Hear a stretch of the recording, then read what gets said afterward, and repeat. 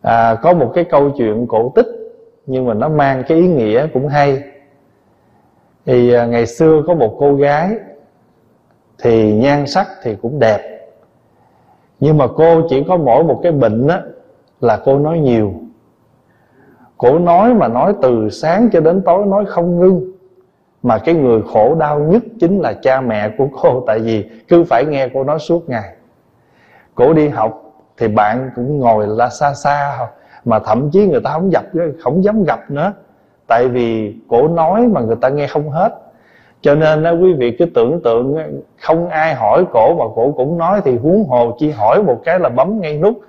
Cổ nói là còn giữ nữa. Cho nên là không ai dám nói chuyện với cổ. Dù rất muốn hỏi cổ chuyện gì đó nhưng mà người ta biết hễ ta bấm đúng đài cái là cái đài này nó nói không có dừng cổ có cái bệnh đó. Thì cuối cùng á cha mẹ cổ chịu, cô hết nổi rồi, mới đuổi cổ đi. Thì trong khi mà cổ buồn tuổi, cổ đi lang thang, cổ đến một bờ biển, cổ ngồi cổ khóc. Thì không biết làm sao, cái tiếng khóc của cổ nó lại động tới một ông ông, một anh chàng đang ngồi làm cái nghề chài lưới ở gần cái bờ biển đó. Thì anh này mới lên tìm làm quen, và cuối cùng mới biết tự sự là cô này do nói nhiều mà bị đuổi. Anh này cũng động lòng à, thứ nhất là cô này cũng đẹp cái thứ hai là nói chuyện cũng dễ thương. Tại anh mới nghe mà.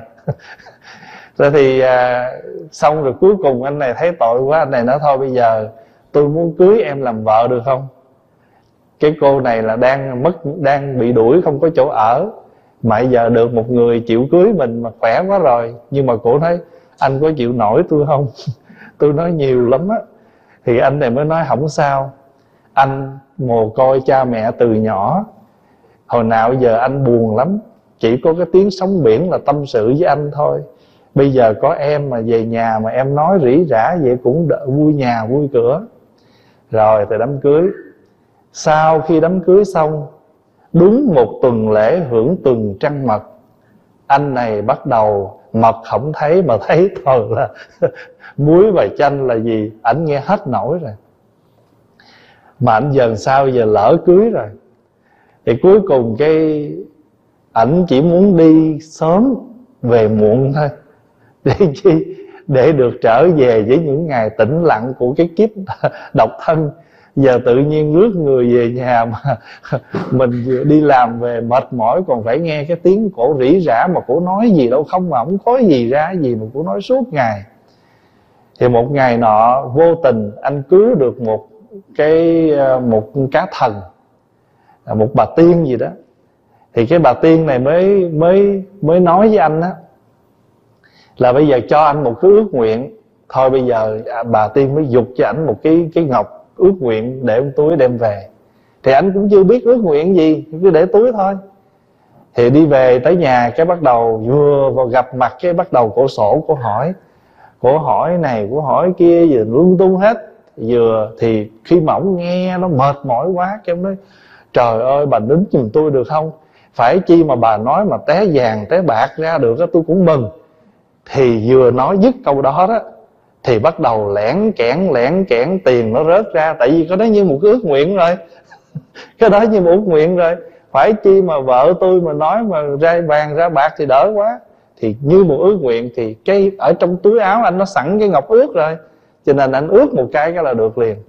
Cái tự nhiên bà vợ bà thấy lạ, tại sao mình nói chuyện mà tiền nó cứ văng ra?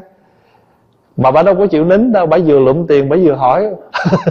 Ủa, chuyện gì xảy ra, chuyện gì xảy ra? Mà bất cứ bà nói vậy là tiền nó cứ tiếp tục thứ hai vậy đó. Một lát sau thì quý vị biết không có bao lâu sau thì cái nhà này bây giờ nó không còn chỗ đi, bị tiền bạc cát nó đầy hết trơn. Rồi nó lên tới trên giường, nó sập luôn cái giường. không còn ngủ nghỉ không còn gì nồi chảo gì trong nhà bít bùng hết. Thì cái ông này ông buồn cái ông thấy không ổn rồi chạy ra ngoài ngoài ngoài biển trở lại. Nó tiên tiên tiên làm ơn tiên giúp con đi.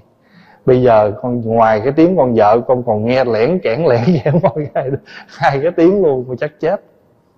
Xin cho con à, lại cái ước khác thì ông này mới suy nghĩ một hồi thì tiên mới nói thôi bây giờ con về con nói với vợ con á là khi nào mà nó nín nó nói được chừng năm ba câu mà có nghĩa lý á, thì rớt rang đồng. Để chừng tuần lễ sau ông chạy ra ông nói không được ông ơi bây giờ là nó năm ba câu nó mới rớt rang đồng mà nó cũng liên hồi bất tận lâu cô đang ngủ, cái đang ngủ ngao ông gì có nó mới nó nói hai ba câu, cái tiền rớt cho bà con. Rồi, thì bà tiên cho ước thứ ba. Ước thứ ba là ước đó, bây giờ tiên mới nói, thôi bây giờ đó, con về con nói với vợ con á, nó nín suốt ngày đi.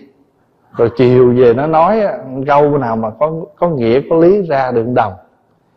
Thì đâu chừng hai tuần lễ sau thì ông chạy ra gặp tiên, nói, tiên ơi bây giờ con khổ quá, vợ con nó nín nó phát ứ, nó bệnh rồi.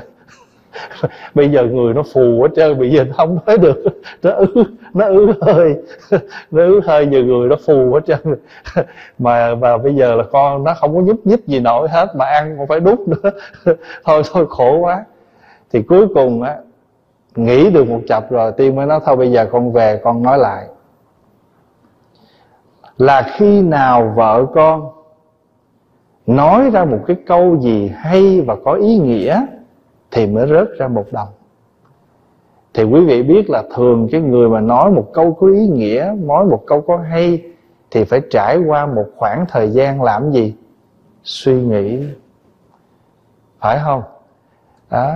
cái người mà người ta nghe thật kỹ ai muốn nói gì thì người đó phải lắng để nghe. Người không lắng làm sao nghe? Cho nên ngay cả tiếng việt mình chúng ta nói hàng ngày đã nhắc nhở chúng ta rồi. Muốn nghe thấu đáo, anh phải lắng xuống gọi là lắng nghe. Mà thường thường mà nói, nè, lắng nghe tôi nói. Mà ồn như cái chợ vậy thì lấy cái gì mà mà hiểu hết. Cho nên muốn nghe cho thấu đáo phải lắng xuống. You only can listen deeply until you calm yourself down. Mình không có lắng xuống làm sao nghe thì bây giờ cái cô này cũng vậy. Một cái người mà người ta có những cái lời nói hay là phải có những cái tư duy sau một cái khoảng thời gian.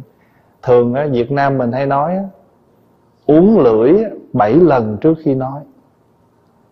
Uống lưỡi 7 lần. Tại sao uống ba lần chưa đủ?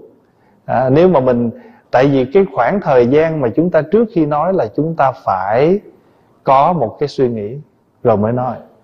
À, đó là cái câu chuyện. Rồi cuối cùng á, cái cô này á, là cứ mỗi một ngày á, hoặc là hai, ba ngày cổ mới ra được một đồng. Rồi một tuần lễ 10 ngày vậy gom được một số tiền. Hai vợ chồng sống rất là yên ấm, tại vì ít tiền nó sống đủ rồi. Mà giờ yên ấm là ông không phải rầu rĩ với cái lời nói hàng ngày mà vô ích. Cho nên người xưa hay nhắc á à, người ít nói không phải là người nói ít mà là không nói những lời vô ích. Người ít nói không có nghĩa là nói ít mà là không nói những lời vô ích. Tại vì mình nói nhiều mà lời nói đó nó nó vô ích nó vô nghĩa. Giống như trong cái vị mà thọ thập thiện đó thì đến cái thọ thập thiện là trong cái 10 điều lành đó để mình ứng dụng mình tu đó về cái thân của mình có ba cái lỗi chúng ta nên khắc phục. Đó là giết giết người à, gọi là sát sinh à, trộm cắp tà hạnh. Khắc phục ba cái đó làm ba điều thiện. Ngược lại là phóng sanh bố thí chánh hạnh. Đó là ba nghiệp về thân. À, bốn cái lỗi về cái miệng. Miệng mình nó có bốn lỗi dựng chuyện nói dối cho người đó là chuyện có nói không gọi là nói dối. Giận lên thì chửi rủa người ta gọi là ác khẩu. Thiêu dệt đâm thọc cho người ta gây gỗ đó là lưỡng thiệt. Và cái tới thứ tư này nó có hai cách. Một là nói những lời mê hoặc dụ dỗ người gọi là ý ngữ. À, hoặc là nói những lời không có ích lợi gì cho ai hết có nhiều khi có nhiều điều mình nói nó không mang lại cái lợi ích cho người, thì chúng ta nên có chánh niệm, đừng nói. Mặc dù đó là sự thật, nhưng mà sự thật đó chưa đúng lúc để nói, thì chúng ta cũng không nên nói. Ngày xưa đức phật á, ở trong rừng với các thầy đệ tử thì đức phật mới cầm một nắm lá lên và hỏi các thầy, nắm lá trong tay tôi nhiều hay nắm lá trong rừng này nhiều? Thì các vị mới trả lời là nắm lá trong tay của đức thế tôn. So với lại cái nắm lá trong rừng thì chẳng bao nhiêu hết. Đúng như vậy. Lá trong rừng thì quá nhiều, mà lá trong tay của phật thì quá ít. Đức phật nói cũng như thế. Những gì tôi biết như lá trong rừng, mà những gì tôi cần nói cho quý vị nghe, để quý vị hiểu, quý vị ứng dụng, quý vị sống tu, cũng giống như lá trong cai tay tôi tại vì có những điều nó quý vị không cần phải bàn thảo không cần phải nói. À mình nói những cái gì mà hiện tại bây giờ nó thiết thực nó gần gũi. À, cho nên đức phật nói những gì tôi tôi tôi nói cho quý vị đó giống như lá trong tay thôi. Còn cái tôi biết thì rất nhiều. Cũng giống như hiện tại bây giờ trong mỗi người chúng ta. Thí dụ mình gặp cái người đó mình biết lý lịch họ hết á. gốc rễ gia đình, họ thân thế, họ cha mẹ, họ nội ngoại, dòng tộc, giàu nghèo sao biết hết. Nhưng mà giờ người qua đây, người đó họ sống không đúng như mình nói, mình biết. Mà cũng đâu liên quan gì tới mình. Cũng chẳng tác hại tới ai, thôi cô không nói. Tại vì sao? Nó không có lợi ích. Còn ví dụ như người đó không tốt, không lành, đừng lo. Ai cũng có cặp mắt để nhìn. Ai cũng có cái cái suy tư trước sau gì họ sống không đúng thì tự người ta nhìn, người ta biết, tự người ta suy, người ta biết. Mình nói nó nó không đúng lúc mà không phải việc mình, đôi khi mình cũng phải dừng cái đó lại. Cho nên á, rồi thí dụ như á, ở đây không có phải là nói là mình nói nhiều. Nói nhiều nhưng mà cái nhiều đó nó mang lại lợi ích gì cho ai? Còn nếu mình nói nhiều mà nó không lợi ích thì cũng không nên nói và thậm chí có những vị nói mà người ta biết dừng đúng lúc thì cái lời nói đó nó có giá trị. À, thí dụ như mình nói xong rồi mình biết rằng thôi bao nhiêu đủ rồi và thậm chí người ta có cái sự nhắc nhở gì nói ít hiểu nhiều. Nhưng mình nói nhiều đôi khi người ta không hiểu tại vì sao? Tao quên hết trơn. À, à, giống như mấy đứa nhỏ mình giờ vậy đó mình nói nhiều nó không nghe đâu. Phải không? Mình nói ít vậy đó mà coi thỉnh thoảng nó nghe. Nhưng mình nói nhiều mà mình cho nên mỗi người mình phải biết cái chủng tánh để mình mình cái sự việc cái con người để mình có thể ứng dụng cái lời nói. À, nói nhiều không bằng nói đúng. Mình nói nhiều nhưng mà không đúng vào đâu hết á. Không bằng mà nói ít mà nói đúng. Đó là cái ý cái câu người ta nói rồi nhiều khi người ta còn nhắc mình gì nữa. Con chim nó chết vì cái tiếng kêu của nó. Chim chết vì tiếng kêu. Người chết vì cái gì? Người chết vì lời nói. Chim chết vì tiếng kêu. Người chết vì lời nói. Rồi Việt Nam mình nhắc gì nữa? Mà họa tùng khẩu xuất. Cái lời nói của mình á, nó xuất ra tức là cái cái họa đó cái tai họa nó đến với mình nó cũng từ cái miệng mình mà ra. À, nhưng mà cái họa mình nó cũng tùng khẩu nhập là làm sao? Mình ăn không đúng thì mình bệnh.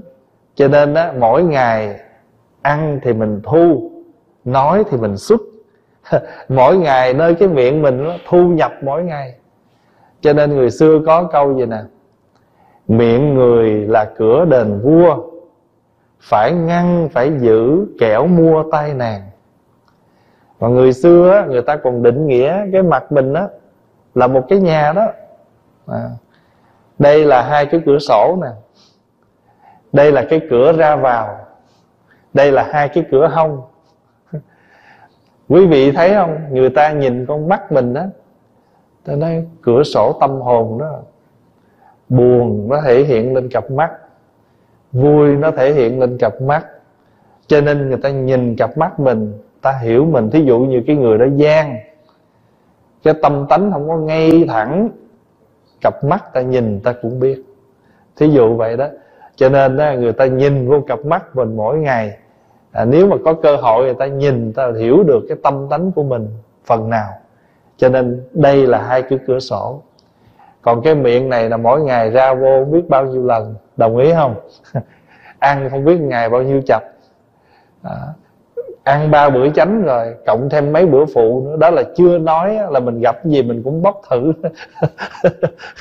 À, chứ đó, mà ăn không trúng thì mang bệnh. Đây là họa tùng khẩu nhập. Nhưng mà rồi gì nữa? Họa tùng khẩu xúc. Lời nói mình cái tai họa của mình nó cũng từ cái miệng mình mà ra. Cho nên cái câu kinh pháp cú này cũng không có gì à, cao siêu nhưng mà rất thiết thực. Nó rất thiết thực cho con người của chúng ta. Thưa đại chúng, ở trong ba nghiệp, thân nghiệp, khẩu nghiệp, ý nghiệp, mà cái gì mà hại mình nhiều nhất? Cái khẩu nghiệp. Cái miệng là nó hại mình nhiều nhất. Tại vì cái miệng là phải nói. Có nhiều người rất là tự hào. Tôi có miệng không cho tôi nói sao? phải không? Rồi có khi người ta khuyên thôi thì chị đừng nói anh đừng không cho tôi nói nói rồi tôi chết tôi cũng chịu nữa. Phải không? Rồi có gì nữa? Phải để tôi nói tôi nói rồi tôi có đọa địa ngục tôi cũng chịu nữa. Cái này là coi chừng nha. Cái này là nó rơi vào cái trường hợp là gì? Bồ tát sợ nhân mà chúng sanh sợ quả. Bồ tát á, các bậc trí người ta không có dám thốt những cái lời nói mà để tạo cái nhân xấu rồi hưởng cái quả xấu. Mà nếu có nói là ta tạo cái nhân lành thôi còn chúng sanh mình á, lúc giận lên á là bất kể cái nhân cái hậu quả chỉ cần thỏa mãn cái cơn giận mình trong lúc đó. Cho nên là bồ tát thì sợ cái nhân. Sợ cái nhân gì? Sợ cái nhân xấu cho nên không dám làm. Còn chúng sanh á, thì chỉ sợ cái quả xấu thôi. Nhưng mà cái lúc mà tạo cái nhân xấu thì không ngán không sợ phải không? Cho nên khi mình giận lên thì mình nói vậy đó. Cho tôi nói đi rồi tôi đọa địa ngục cũng được. Tôi nói rồi tôi chết cũng được. Rồi thậm chí một cái chuyện gì mà nó đến với mình á, mình thề thốt. Và thậm chí mình nói lên những cái lời mà ước nguyện mà mình làm không nổi. Mà khi mà xong việc rồi thì mình thấy trời dại quá. Sao nói chi mấy cái lời đó? Sao thề chi mấy cái lời nói đó? Phải không? Thành thử ra cái cái khẩu của mình nó quan trọng lắm. Nhưng mà tất cả những cái đó mà cái lời mình nói ra rồi đâu có lượm lại được. Hồi đó có một cái chú đệ tử chú mới hối hận vì cái lời nói của chú. Cho nên chú mới đến chú xin lỗi một người thầy. Con đã lỡ nói rất nhiều những lời nói mà huynh đệ con buồn. Thầy cho con xin sám hối. Thì ông thầy nghe xong, ông thầy nói, thôi được rồi, thầy nhận lời sám hối của con nhưng mà bây giờ thầy nhờ con làm một việc. Ông thầy mới mở cái gối ra, cái gối nằm á, thầy mở gối ra. Ông thầy mới lấy cái gòn mà dồn ở trong cái gối đó đó tung lên hết. Tung lên hết xong rồi ông mới nói bây giờ đó, con hãy chịu khó, con lượm hết gòn dồn lại trong gói này. Quý vị biết ông thầy muốn dạy gì không? Một khi cái gối mà mình bung gòn nó ra rồi đó cố cố gắng mà hút cỡ nào đi nữa cũng không bao giờ hút hết. Phải không? Không bao giờ hút hết. Thì thầy mới nói với người đệ tử cũng như thế. Cái lời nói mình nói ra rồi cho dù mình có cố gắng mình hút trở lại mình mình thu lại mình, mình xin lỗi nhưng mà đâu phải cái vấn đề lời nói đâu mà cái vết thương của người bị tổn thương nó đã hằn rồi cho nên pháp hòa đã từng gặp rất nhiều gia đình, nhất là trong vợ chồng. Khi mà người chồng xỉn, say, nóng tính, nói những lời nói rất là nặng nề với người vợ, sau đó xin lỗi. Thì cô vợ cũng tâm sự, cổ nói là mặc dù con vẫn bình thường, con sống trở lại, nhưng mà cái nọ, cái vết thương mà trong lòng con nó không hết mỗi khi con buồn thì những cái những cái lời nói đó nó nó trở lại. Hay đôi lúc đang ngồi ăn cơm, tự nhiên con nhìn chồng con con nhớ là cái lời nói mà ổng ổng ổng nói con đó, tự nhiên cái nó ngẹn và cái bữa cơm đó nó đổi cái không khí liền. Tự nhiên con trùng lại. Nếu con, tại vì đang vui vẻ, nhưng con nói ra thì vô lý quá, chuyện cũ nhắc hoài. Nhưng mà nó không nói ra được những cái nỗi đau, niềm đau đó, và cứ phải nuốt vô và sống với nhau như vậy nhiều ngày. Nó thành ra gì? Nó thành ra cái trầm cảm, nó thành ra những cái u uất, nó thành ra những cái bệnh. Cho nên nó sở dĩ mà chúng ta xin lỗi đại chúng một phần trong những cái bệnh mà chúng ta nặng nề như ung thư một phần là cũng do những cái buồn khổ mà đời sống hàng ngày chúng ta tiếp xúc mà chúng ta không có giải tỏa nó được. Lâu ngày cái độc á cái độc của tâm á, phát ra. Mình ví dụ như xin lỗi mình ăn cái gì trúng mình uống thuốc sổ được. Nhưng mà cái niềm đau nỗi khổ nó ở trong lòng mình. Chỉ có Phật pháp chỉ có lời Phật dạy. Những lời dạy của thánh hiền mới giúp mình tuôn ra được. Nhưng mà có những người người ta làm không được người ta vui lúc đó, người ta xả lúc đó, nhưng mà chỉ xả cái bên ngoài thôi, chứ còn cái tận chiều sâu nó còn dính lại trong đó. Cũng giống như lỡ mình hốt cái gì mà nó có màu đỏ, màu xanh nó dính tay mình ví dụ như là nước màu, cái màu để mình pha thức ăn thôi. Lỡ mà nó dính tay, mặc dù mình có đi rửa đó, nhưng mà tức khắc lúc đó nó đâu có sạch cái tay mình liền đâu. Không? Nó phải một vài ngày sau nó mới hết. Cũng giống như là mình đi xăm chữ trên người mình rồi, muốn xóa đâu phải dễ. Đó. Rồi ngày xưa một người cha cũng dạy một người con đó. người cha dạy người con là lấy một cái đinh, đóng một cái cột. Rồi sau đó đổi ý, nhổ cái đinh đó ra. Thì cây cột nó bị cái gì? Nó bị một cái lỗ. Thì người cha cũng nói với người con cũng như thế. Một lời nói của mình nó giống như cái đinh vậy đó. Mình đóng vô trong đó, rồi xong mình thấy, cảm thấy hối tiếc, mình rút nó ra.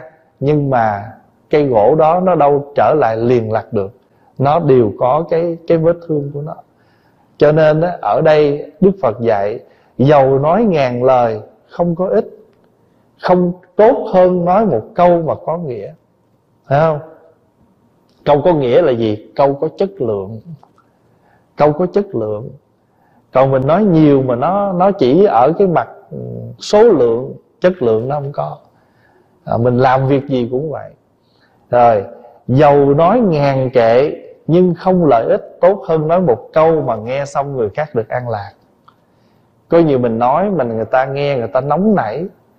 Ở đây không biết có ai có những kinh nghiệm không? Có nhiều người ta nồi người ta nói chuyện với mình mà trong ruột mình nó sôi lên mình khó chịu lắm cái đó cũng là một cái nghiệp đó. Có nhiều người nó cái tiếng nói của họ, cái âm ba, họ cũng không có nói gì bầm bậy, nhưng mà tự nhiên mình nghe mình không có thiện cảm. Và dường như không muốn nghe. Và thậm chí có nhiều khi nghe bực bội lắm. Nghe họ nói bực bội, đó là cái nghiệp của họ. Họ phải, nếu mà người đó muốn thì phải sám hối, giải cái nghiệp đó. Cũng giống như cái nhan sắc của mình có người ta nhìn ta thiện cảm ta thích tới gần. Có nhiều người ta ta gặp mình cái ta lơ lơ ta không có muốn gần. Tất cả nó đều là có cái cái huân tập của mình tùy theo cái cách mỗi ngày mình tư duy và mình sống trong cái nghiệp đó. Cho nên đó, tu là gì? Tu là chuyển nghiệp. À, nói tới cái câu thứ ba thứ trăm lẻ hai nè. Giàu nói trăm câu kệ nhưng không gì lợi ích tốt hơn nói một câu tức là câu kệ đó nói một bài kệ đó mà nghe xong được tịnh lạc. Pháp Hòa có làm một cái bài một cái bài à, thơ. Tại mỗi năm Pháp Hòa thường Pháp Hòa rảnh á, những lúc ngồi rảnh Pháp Hòa hay chép kệ hay tự mình viết mấy bài kệ để à, làm quà tặng cho Phật tử trong những dịp Tết. Hay là đôi khi mình à, có những cái sự việc nó đến thì nhờ cái câu đó nó nó giúp mình. Thí dụ vậy, đây là một câu ví dụ, Pháp Hòa viết là một cái bài kệ nè. Tu là chỉnh méo cho ngay. Tu là biết sửa tháng ngày dở dang. Tu không phải để nghênh ngang. Tu là biết rõ lối đàn mình đi. Pháp Hòa định nghĩa chữ tu bằng bốn câu. Tu là gì? Chỉnh méo cho ngay. Tu là chỉnh méo cho ngay. Tu là biết sửa tháng ngày dở dang. Mỗi ngày mình đều sống hết á, Nhưng mà không gì nó trọn hết á. Là mình cũng đang sống với con, Mình cũng đang sống với cháu, Mình đang sống với chồng, Đang sống với vợ, Đang sống với huynh đệ, Đang sống với thầy tổ. Nhưng cuộc sống của mình nó bị dở dang là vì mình chưa thấu đáo cái hiểu mình nó chưa hết cái thương mình nó chưa trọn. Cho nên giờ cuộc sống hạnh phúc của mình giờ là cho có chừng cầm chừng vậy thôi. À, tu là biết sửa tháng ngày dở dang. Tu đâu phải để nghênh ngang. Tu đâu phải để nghênh ngang. Tu là biết rõ lối đàn mình đi. Mình tu như thế nào? Để mình thấy được con đường mình đi mỗi ngày nó trong sáng và mỗi ngày mình đi mình có hạnh phúc có an vui. Người tu mà mỗi ngày mình cảm thấy trong chùa mình ngọt ngạt trong chùa mình khổ đau à, mình lên mình tụng kinh mà mình cảm thấy chán trường vân vân là mình biết rồi đó. Cái đời sống của người tu mình nó nó đang dở dang nó đang ương sình nó đang thối chuyển nó không được mình giống như một cái hoa, mỗi ngày phải, một cái cây mỗi ngày nó đi lên, nó có sức sống, tu mà không có sức sống. Như vậy đó, không phải lỗi ở giáo pháp, mà lỗi ở mình không có tiếp thu được, không có hấp thụ được. Cũng giống như một cái cây không khí cũng như thế, nước cũng như thế, mà giờ cái đất cái rễ nó không bén ra. Người, cái căn tu cái rễ tu mình không bén ra thì nó không hấp thụ được cái gì hết.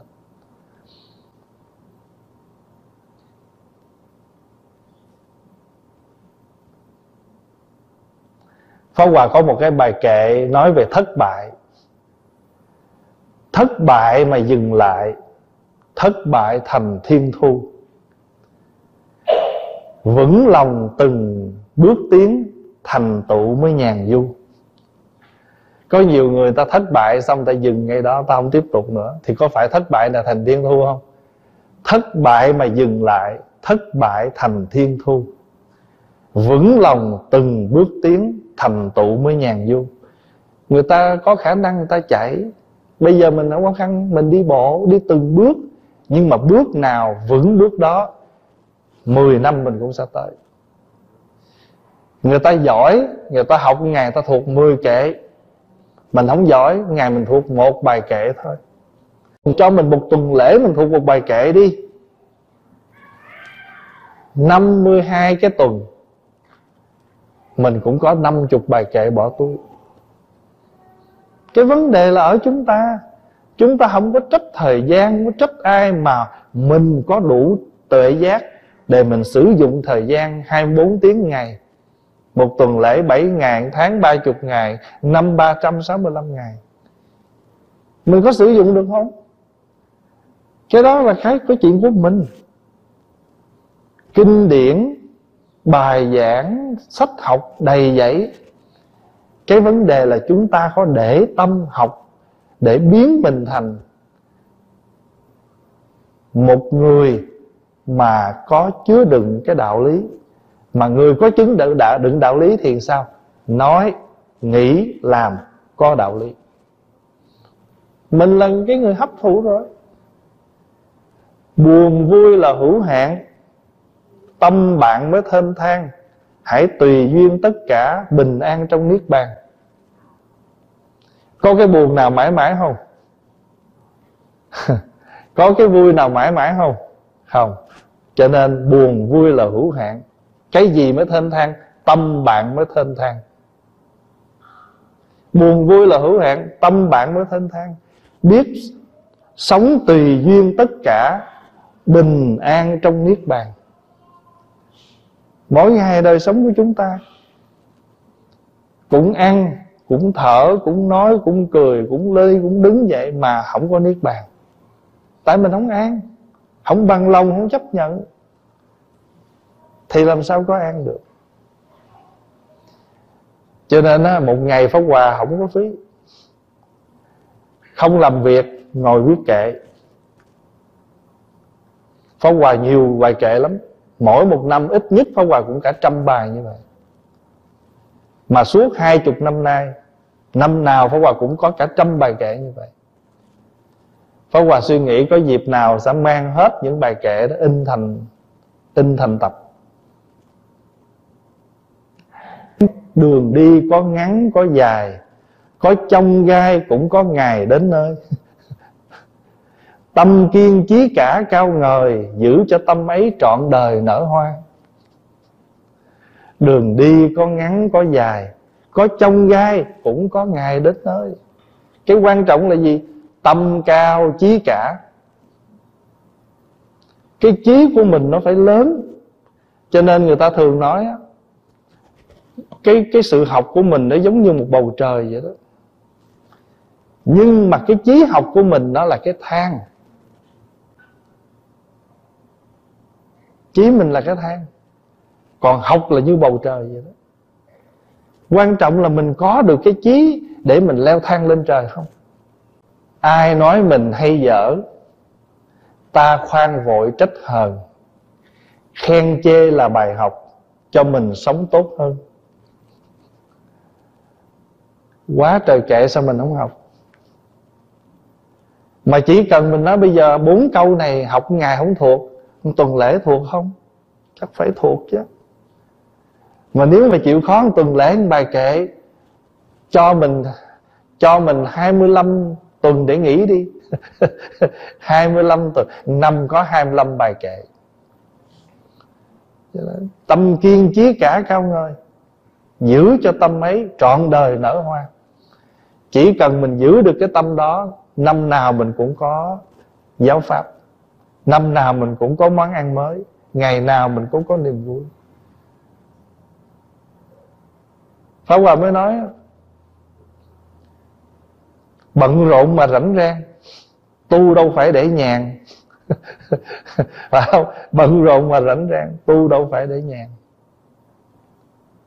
Làm việc nhiều, Bận rộn nhưng mà cái bận rộn của mình Mình có niềm vui trong cái đó, Thì tự nhiên Cái lực của mình nó tăng trưởng. Còn mình dùng cái sức lực mình làm không á, Mau kiệt sức lắm. Dùng sức mà phải có tâm. Cho nên việc gì mình làm, Thổi tâm mình vô đó, Việc nó khác liền. Sắp một cái bàn cúng, Bày một dĩa trái cây, Cắm một bình hoa Dọn một cái tọa cụ bồ đoàn, Để cái nhang vào trong trong cái ống, Rút cây nhang ra cắm. Tâm không thổi vô đó, Dù chỉ là một cây nhang cũng thấy liền. Mà Pháp Hòa chỉ, Pháp Hòa nói hoài cái chuyện đó. Rút cây nhang ra mà cắm nhang thôi, Người ta hiểu được mình tu tới đâu. Trước hết nè, Rút cây nhang ra. Đừng có đừng có bật lửa liền nha. Phải nhìn cái nhang cái. Coi cây nhang này thẳng hay ngay, Thẳng hay méo. Có nhiều cái xương nhang nó bị cong. Sau khi mình thấy nó cong, Lấy cái tay nương theo cây nhang, nhẹ nhẹ lên, nhang lập tức thẳng. Việc đầu tiên thắp nhang là phải nhìn cái nhang nó cong hay nó thẳng trời ơi, cây nhang nó thiếu điều, nó muốn gãy xương vậy. Cũng thắp cây nhang lên. Cái này là cái gì? Thiếu sự nhìn lại. Chỉ một cây nhang thôi mà mình không có nhìn lại nó, thì lấy gì mà thấy nó méo, bẻ cho nó ngay? Chứng tỏ mỗi ngày mình sống, mình đều có sự phản quan nhìn lại mình.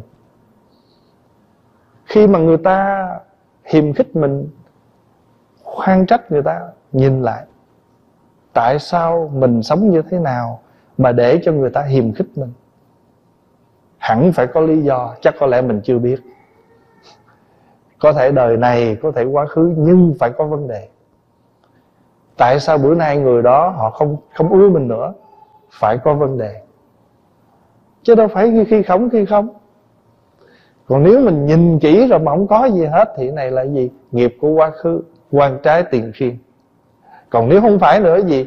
Tự người đó họ chuốc khổ, còn mình thảnh thang rồi. Bởi vì ít nhất mình cũng có nhìn lại. Rồi thắp cây nhang xong, quạt lửa. Không có thổi. Thắp nhang là phải lấy tay quạt. Phất cây lửa cho nó tắt, chứ không có lấy miệng thổi nhang rồi cầm cái nhang lên.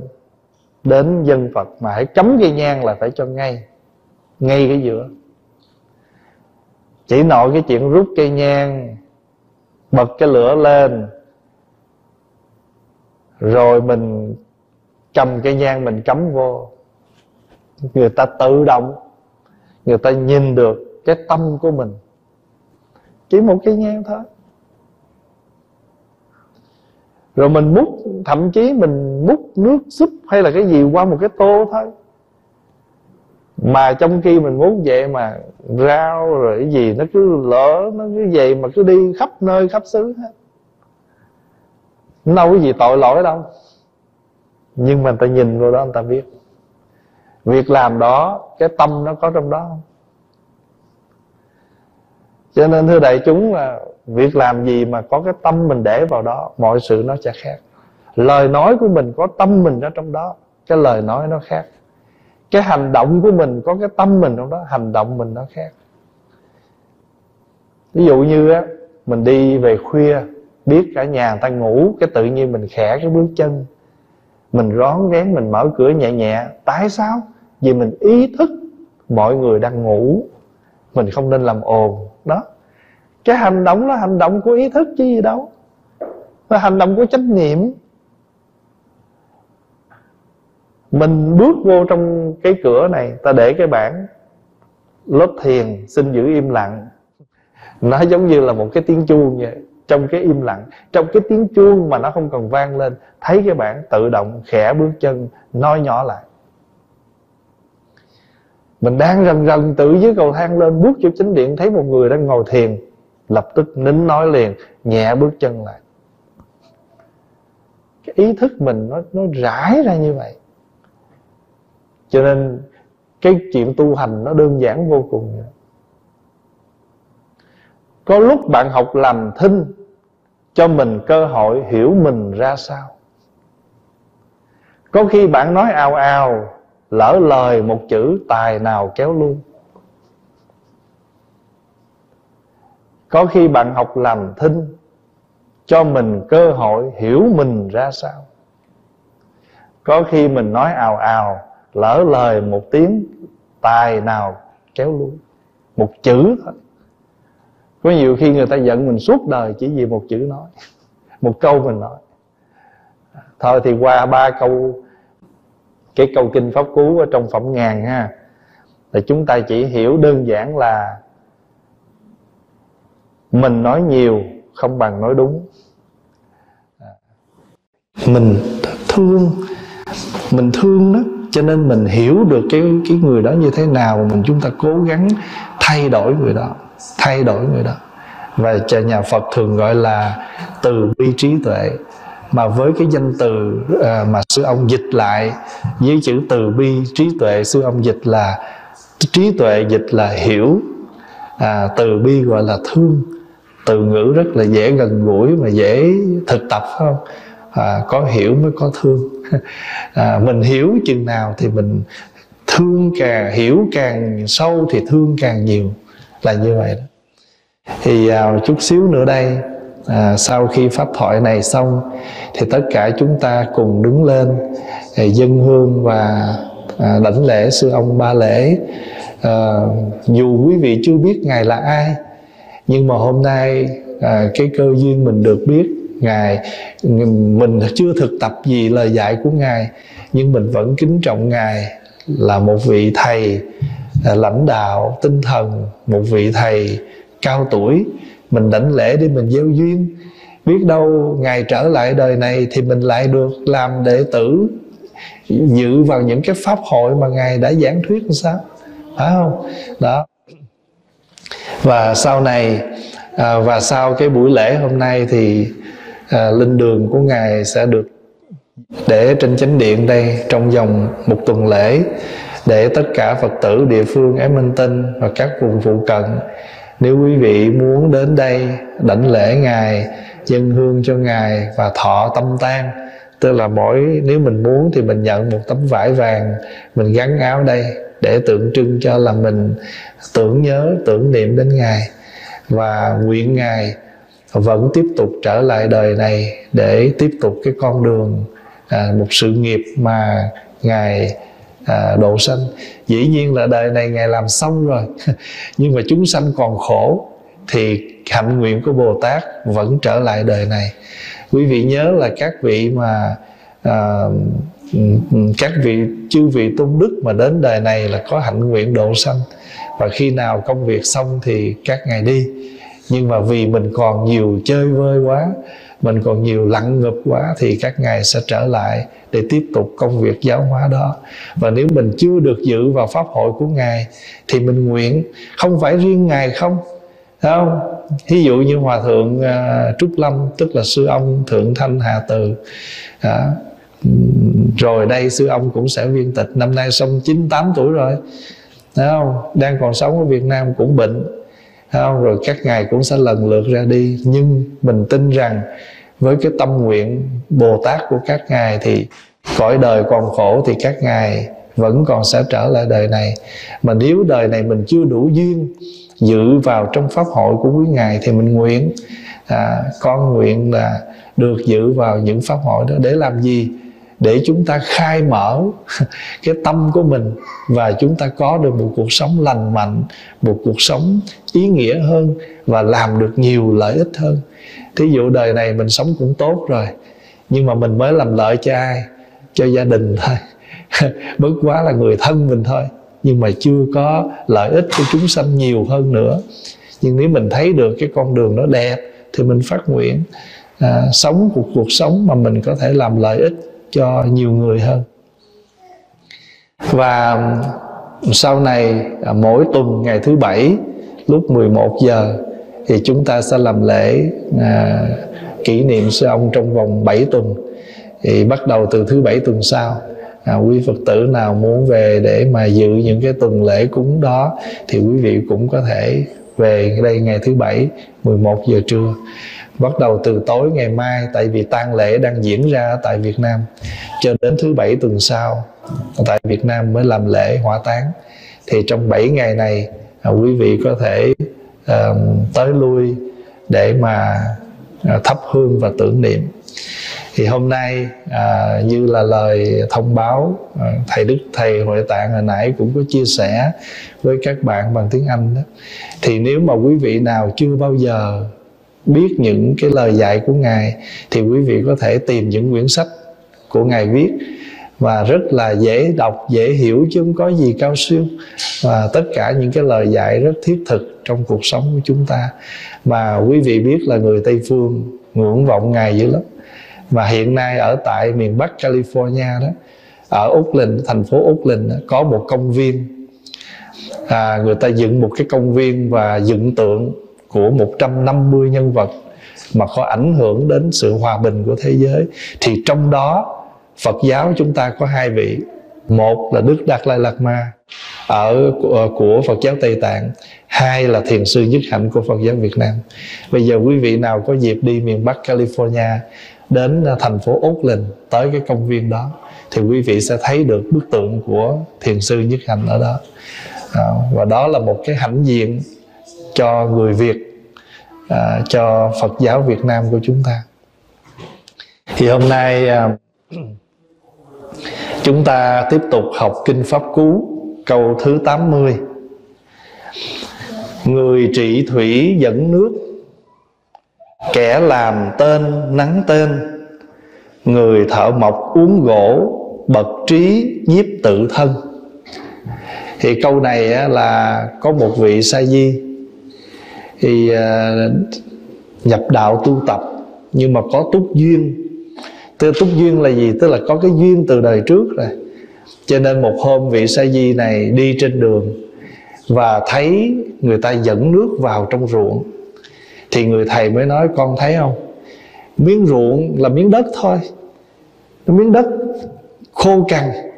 Nhưng mà nếu mình, người ta muốn người ta có thể khai mở một con đường thì sẽ dẫn nước vào được ở bên trong và làm cho miếng đất đó màu mỡ, miếng đất đó được tươi tốt lên.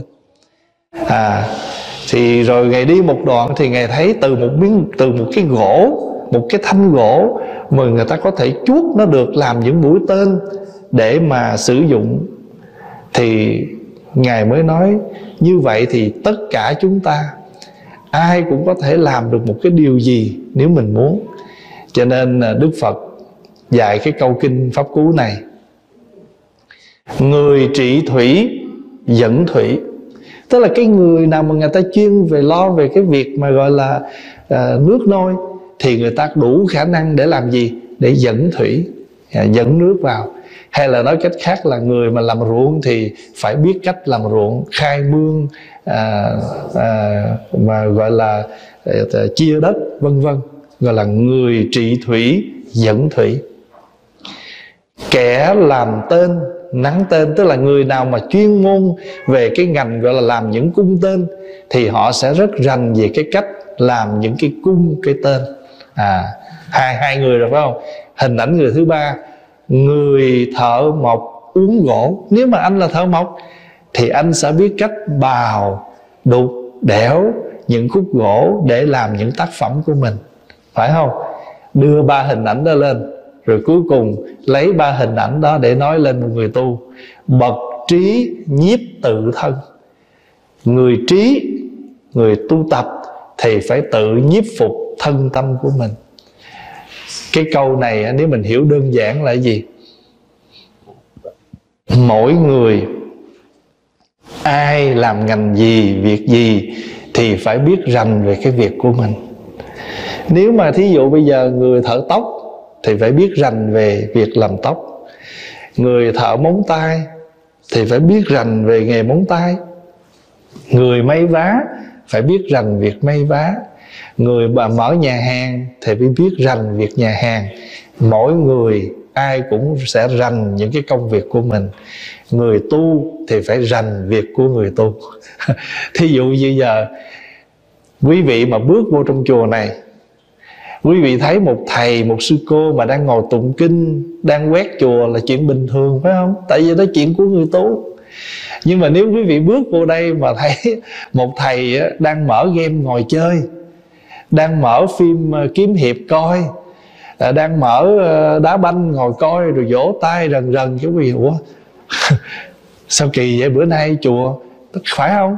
Nếu mình bước vô chùa đây mà mình thấy một sư cô một thầy mà đang quét chùa đang thắp hương đang lễ phật đang tụng kinh chuyện bình thường tại chuyện này chuyện của các vị nhưng mà nếu các vị mà bước vô đây mà thấy chuyện không bình thường, mình nói ví dụ ha, bước vô cái thấy hai sư cô ngồi vũ móng tay cho nhau. Ủa sao kỳ vậy? Phải không? Đâu phải chuyện của người ta. Đó là, tức là ý nói là người nào việc mình ở trong cái phạm vi nào thì mình phải cố gắng cái phạm vi đó để làm gì? Để chúng ta phát triển đúng cái bổn phận của chúng ta. Cho nên đó, một người thí dụ như một người mở tiệm ăn đâu phải chỉ biết nấu ăn là ra mở tiệm đâu rồi phải nghiên cứu mỗi ngày. À, mà bây giờ sự nghiên cứu nó rất là rộng rãi phải không? Ở trên mạng nội cái chuyện mình nấu một món gì thôi mà mấy chục cái công thức ở trên mạng người ta chỉ mỗi người người ta chỉ mỗi cách. Nhưng mà người thông minh thì làm gì? Gom lại học.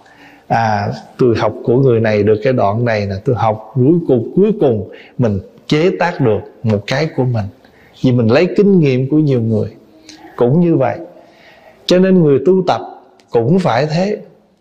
Thì thưa đại chúng ở đây á nó cũng giống như cái câu hồi trước tuần trước mình học vậy đó. À, tuần trước mình học là người mình phải học chánh pháp. Thật ra chánh pháp là gì? Là cái cách sống. Chứ không phải nói vấn đề gọi là học hành giỏi chữ nghĩa thật ra trên đời có những người, người ta đâu có biết chữ. Ta đâu có đi tới trường ta học nhiều đâu. Nhưng mà người ta sống rất đẹp. Tại sao? Vì người ta học được cái cách sống. Vậy thì người đó có học không? Có học chứ sao không? Nhưng mà học cái cách sống. Cho nên quý vị đừng có lầm là nói có học ở đây là phải gọi là chỉ gọi là đi vô trường lớp hay là học chữ nghĩa gì. Nhưng mà đây là học cái cách sống. Dù mình có biết chữ mình có giỏi đi nữa có bằng nhiều bằng cấp đi nữa nhưng mà cái cách sống không biết cách thì nó cũng chưa gọi là cái chánh pháp. Cho nên quý vị nhớ là pháp hỷ đem an lạc. Với tâm tư thường tịnh mà người trí mà nghe thường quan hỷ với chánh pháp mà bậc thánh nói. À, và hiểu cái chỗ đó thì mình mới không có hiểu lầm là nói vậy là chê những người không có học. Dạ thưa không phải vậy. Ừ. ở đây mình nói là người trị thủy dẫn thủy. Rồi mình hiểu chữ thủy đây là gì? Là nước phải không? Mà nước thì đưa vô đất, mà đất mà chỗ nào mà nó khô cằn, mà có nước thì nó mềm mại, nó nó màu mỡ. Cũng như thế. Cái tâm của mình, nó cũng khô cằn nếu chúng ta không có hiểu được giáo pháp. Cho nên á, nước đây là nước của chánh pháp. Mỗi ngày chúng ta phải thấm nhuần để chúng ta tưới tẩm thưa đại chúng á, mặc dù mình có hiểu đời là vô thường, ai sống cũng phải chết, hiểu phải không? Như nãy kinh hải đảo tự thân mình đọc vậy đó. Đức phật nói á, thầy xá lợi phất và thầy mục kiền liên là hai học, là hai thầy lớn ở trong giáo đoàn. Thì cái chuyện hai thầy có mất trước cũng là chuyện đương nhiên. Cũng như một cái cây, mà cây nào mà nó già thì nó phải chết trước mình hiểu vậy đó. Nhưng mà khi đụng chuyện mình có thoát được cái buồn không? Khó lắm. Phải không? Tại vì mình vẫn còn là tâm của một con người phàm. À, sanh ly tử biệt vẫn buồn. Cho nên Pháp Hòa thấm cái câu á biết rằng sanh tử huyễn ly biệt vẫn đau thương. Biết là cuộc đời này sống chết vậy đó nhưng mà sự chia ly nào nó cũng có một cái nỗi buồn nào đó. Nhưng mà sau khi một cái buồn đó rồi thì chúng ta chấn tĩnh mình trở lại, là mình phải ý thức, mình phải trở lại, mình trở lại nương tựa và nhận diện và xoa dịu những cái cảm xúc của mình. Xoa dịu những cảm xúc của mình, tại vì con người mình có những cảm xúc. Cho nên nó tại sao ngày nay á, có nhiều người người ta bị stress, người ta bị depressed người ta buồn hoài mà người ta không hết là tại vì người ta chỉ để cho cái nguồn cảm xúc đó nó tuôn ra mà người ta không trở lại để người ta xoa dịu nó được. Cho nên ai cũng có cảm xúc nhưng mà cái cách tu tập của chúng ta là phải trở lại để chúng ta làm sao xoa dịu cái cảm xúc đó. À, để làm gì? Để chúng ta giữ quân bình mình trở lại. Để trở lại cái năng lực kiên trì ở nơi mình. Vì vậy người trị thủy dẫn thủy là mình phải đưa cái nguồn nước vào trong cái tâm khô khan của mình để cho cái tâm mình nó thấm nhuần. À, người mà có thấm nhuần giáo pháp cái tâm cái cái cách sống nó khác lắm. Người mà không thấm nhuần được cái sự thật của cuộc đời thì cái cách nó sống khác. Ví dụ như mình mà có thấm nhuần chút xíu thì gọi là đời vô thường đấy mình ứng xử trong đời nó cũng nhẹ nhàng hơn mình biết tha thứ một chút mình biết nhường nhịn một chút. Còn mình mà không biết gì hết thì mình ăn thua đủ dữ lắm. Dạ, cho nên á nước nó thấm tâm rồi chánh pháp mà thấm vào tâm rồi thì mảnh đất tâm của mình nó sẽ được màu mỡ mềm mại. À, người mà biết được chánh pháp rồi sống uyển chuyển lắm. À, cuộc đời này á, đâu có gì mà gọi là rắc rối đâu thí dụ như sự việc nó phải là như vậy nó là như vậy đi nhưng mà lỡ nó không được như vậy cái mình chấp nhận quyển chuyển nó một chút. Chứ nó phải là như vậy thì đâu có được sao phải được? Thí dụ như đấy hôm nay tôi hẹn anh á, tới nhà tôi chơi 11 giờ phải tới nghe không? Thì người ta cũng tới nhưng mà giờ bão tuyết quá người ta lái nó chậm đường nó trơn hoặc thậm chí ở trên đường đi có tai nạn xe cộ cho nên rồi người ta đi chậm chút thì người ta cũng tới mà tới chậm. Cho nên mình phải uyển chuyển, mình phải hiểu cái cái lý do chứ. Cho nên người mà hiểu được cái lý lẽ cuộc sống thì tự nhiên uyển chuyển chút. Thậm chí người ta phone tới, anh ơi, tôi xin lỗi giờ tôi đi không được nữa, đường trơn quá. Mà giờ tôi không thể đi được nữa, thôi tôi quay về thôi. Thí dụ cũng phải chấp nhận thôi. Cho nên người mà hiểu được rồi thì hiểu được cái cuộc sống này có những cái nó xảy đến thì chúng ta nhẹ nhàng chấp nhận, người trị thủy dẫn thủy. Thủy đây là chánh pháp dẫn vào trong tâm của mình. Rồi, kẻ làm tên, nắng tên, thường thường làm cái tên thì phải có cái cung, phải không? Và cái cung là tượng trưng cho thiền định, cái tên là tượng, cái mũi tên là tượng trưng cho trí tuệ. Mình mà có cái thiền định và có cái trí tuệ rồi đó có hai cái bảo bối này rồi thì nhắm cái gì bắn của chúng.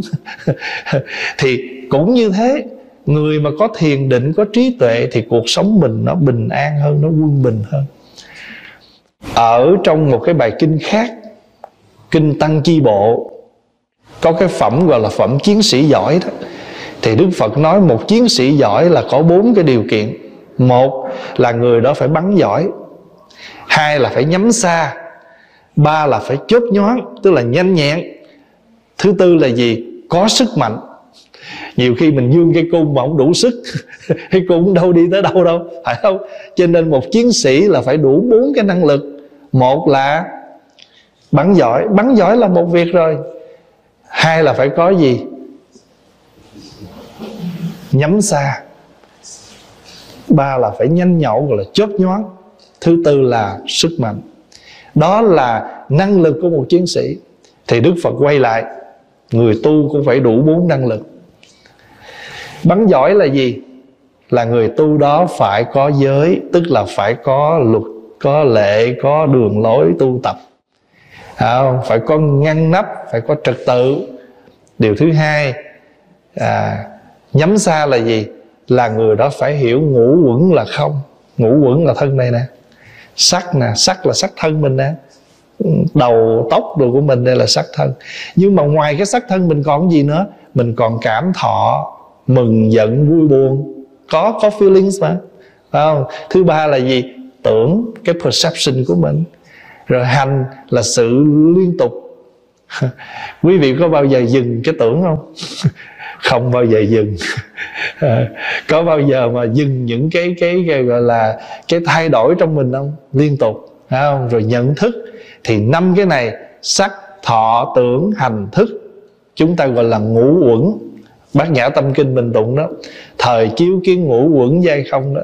Thì nếu mà người nào mà thấm nhuần ngũ uẩn này nó tạm có thôi. Đó, như mình hôm nay là mình đang sống đây là tại vì cái tưởng mình còn cái thọ cái hành cái thức cái sắc nó phối hợp với nhau để gọi là một con người còn sống. Một ngày nào đó năm cái này nó dừng hoạt động thì mình gọi là chết. Vậy thì biết rằng mình không giữ được nó.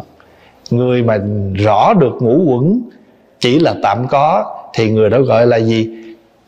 Nhắm xa tức là thấy rõ điều đó. À, thứ ba là gì? Chớp nhoáng.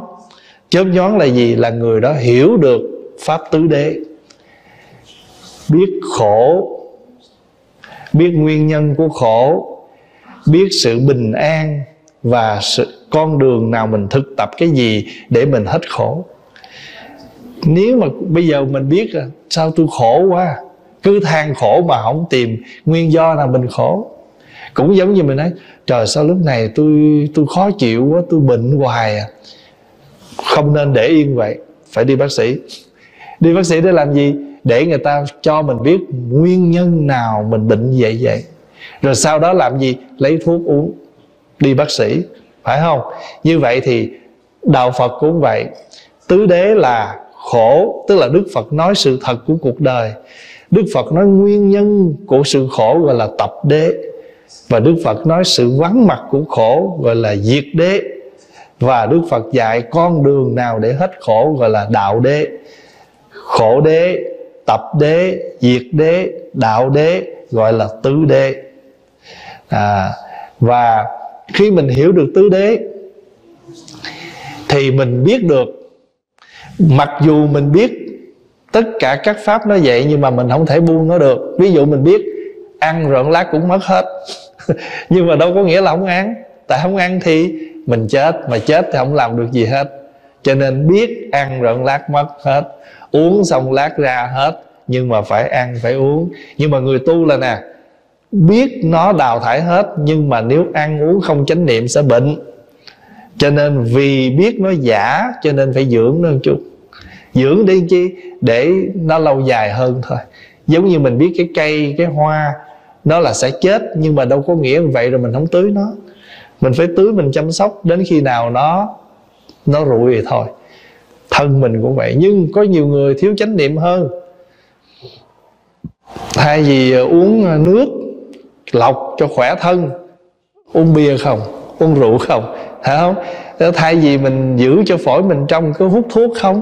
Đó, tức là cũng uống, cũng ăn, cũng tiêu thụ vào thân này, nhưng mà người có trí, có hiểu thì tìm cái gì lành mạnh cho thân thể.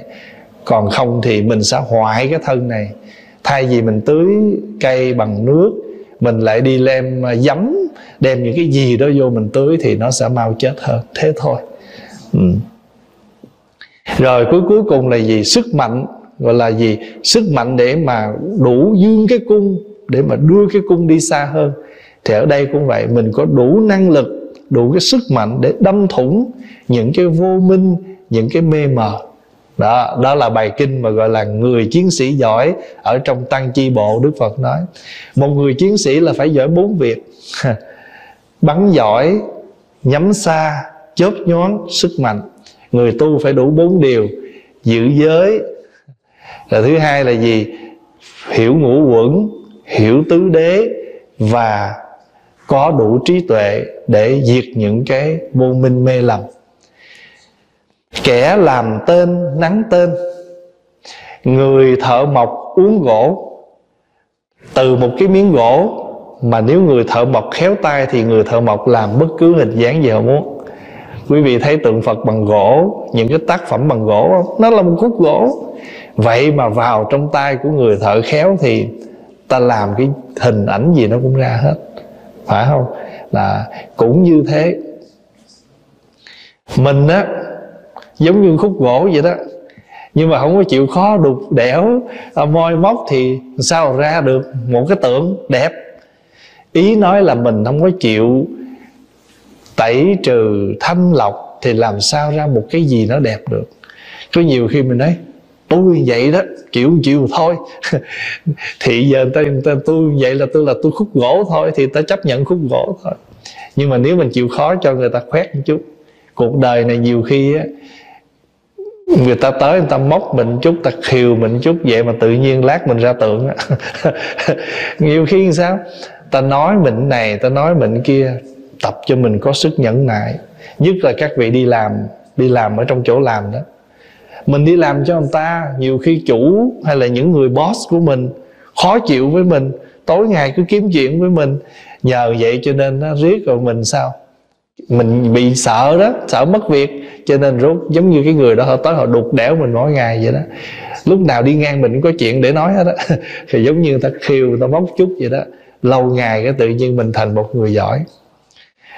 Pháp Hòa có một cái em đó cái Phật tử chùa đây. Hồi nhỏ ba nó khó với nó lắm. Khó đến mức độ á, Sáng ông ngọn đọc báo. Mà nó đi học mà nó bước ra cửa Mà ông nhìn cái bộ đồ nó Mà ông không đồng ý rồi đó. Là cái mặt ông chuyển sắc là nó biết rồi đó, Nó biết ba nó không thích cái kiểu ăn mặc của nó Nó vô thầy Khó đến mức vậy. Vậy mà sau này nó nên người Nó lên chùa nó mới nói, bây giờ con nghĩ lại, con cảm ơn ba con. Tại hồi đó ba con cũng khó như vậy, giờ mới có con đó tại vì sao? Quý vị tưởng tượng ăn mặc mà còn vậy thì huống chi nhỏ này nó đi học mà nó về không đúng giờ. Nó về không đúng giờ là còn chết dữ nữa. Hay là học bài dở của nó, điểm của nó mà không đủ thì sao? Cho nên nhờ khó vậy cho nên rồi tốt. Cho nên mình gần những người những người thầy mà rất là nghiêm nghiêm khắc, không phải ghét mình mà muốn cho mình trở thành một con người mẫu mực. Cho nên thường thường quý vị nhìn những người mẫu mực. Đã đừng ra xin lỗi, đại chúng mà quý vị thấy những người mẫu không? Mặc dù có dáng đẹp mà cũng phải biết cách đi lên chứ, là tạo thành người mẫu chứ. Có cái dáng đẹp là chuyện, sắc diện đẹp là chuyện, nhưng khi muốn làm người mẫu phải vô đó cho người ta luyện à, quảng cáo cái áo lạnh người ta, người ta mà đi cù lơ phất phơ vậy ai thấy hấp dẫn cái áo? Học cái cách đi sao mà nhìn cái áo cho nó hấp dẫn. À, cho nên cái gì cũng phải có cái sự huấn luyện. Thì nhờ huấn luyện như vậy cho nên có được một cái hình ảnh đẹp. Người tu để lấy ba cái hình ảnh đó ra rồi cuối cùng trở lại người trí nhiếp tự thân. Ai ai làm chủ mình được? Mình phải tự nhiếp phục mình thôi. Cho nên á, nếu mà mình không có tự mình thúc liễm chữ nhiếp đây là gì? Là thu nhiếp là là mình phải làm sao mình mình thu nhiếp mình à, thúc liễm mình gò gẫm lấy mình để mình trở thành một cái một cái người gì mà nếu mình muốn. Thí dụ mình mà là một à, thầy giáo bước lên bục giảng là phải có cái mẫu mực của một nhà giáo. Thí dụ vậy đó. Cho nên ở đây, đức phật đưa cái hình ảnh người trị thủy dẫn thủy, kẻ làm tên, nắng tên. Người thợ mộc thì uống gỗ và cuối cùng người tu làm gì? Người trí nhiếp tự thân. Bây giờ mình là người trí phải không? Mình biết mình muốn muốn gia đình mình hạnh phúc không? Muốn nên nhiếp cái thân tâm mình lại. Hồi anh độc thân anh muốn đi đâu đi? Nhưng mà giờ có gia đình rồi phải biết bổn phận. Có những việc mình phải khắc phục mình chút. Trời ơi, bạn tôi rủ tôi đi chơi vui ghê lắm á. Nhưng mà giờ con đang bệnh ở nhà phụ vợ. Đó là mình nhiếp phục đó. Nhiều khi mình bỏ cái đi chơi đó để nhà lo công việc nhà. Quý vị biết nhiều lúc Pháp Hòa cũng có những công việc của mình. Nhưng mà đành phải gác lại vì sao? Tại công việc ở chùa nó chưa cho phép. Ví dụ một cái trường hợp, tang lễ của sư ông, Pháp Hòa rất là muốn về để mà tham dự tang lễ mà không đi được. Tại vì công việc chùa mà lại cận tết nữa. đây là một cái ví dụ nhỏ vậy thôi chứ còn trong cuộc sống của mình ai cũng có những cái cái nhu cầu của mình. Nhưng mà đôi đôi khi mình phải tự nhiếp phục mình khắc phục mình vì mình thấy cái công việc nào đó nó cần thiết hơn. À, người tu á cũng sử dụng mắt cũng sử dụng tai cũng sử dụng mũi như bao nhiêu người nhưng mà có thu nhiếp à, thí dụ mình thấy mình đi ngang cái quán bán à, dầu thơm bán đồng hồ đẹp cũng cũng cũng thích cũng thấy đẹp vậy. Nhưng mà mình biết thứ nhất mình vô đó làm gì? Có mua đâu? Hoặc là nhiều khi mình cái chỗ đó không phải cái chỗ mình tới thì tự mình thu nhiếp ở đường à, ở dưới phố tây cái đường White Avenue chùa mà mỗi lần đi phi trường phải đi ngang con đường đó đi ra bằng cái đường chính chính, đi ra vô bằng đường đó. Mỗi lần tối, mùa hè mấy thầy chở Pháp Hòa đi phi trường, từ phi trường về đi ngang khu vực đó, nó rần rần dữ lắm. Mà nhiều khi mùa đông trừ mấy chục độ nha, mà có những người mặc những cái những cái đầm, cái cũng đứng ngoài lạnh mà chờ tới phiên được vô những cái club đó. Tại vì họ limit. Ví dụ chỗ đó ba chục người thì được ba chục người vô dư phải đứng ngoài. Mỗi lần đi ngang vậy mà nói, mày đưa thầy ở đâu? Người ta người, người, mình thấy tội nghiệp quá trời lạnh quá mà sao ăn mặc vậy mà đứng. Nhưng mà chúng sanh mê rồi ta đâu có thấy nó khổ. Ta đâu có thấy nó khổ ta hạnh phúc chờ đợi. Có nhiều khi mình đi ăn nhà hàng mà tại chàng nó ngon quá chấp nhận ngồi chờ một tiếng đồng hồ để đường vô nó cũng có trường hợp như vậy.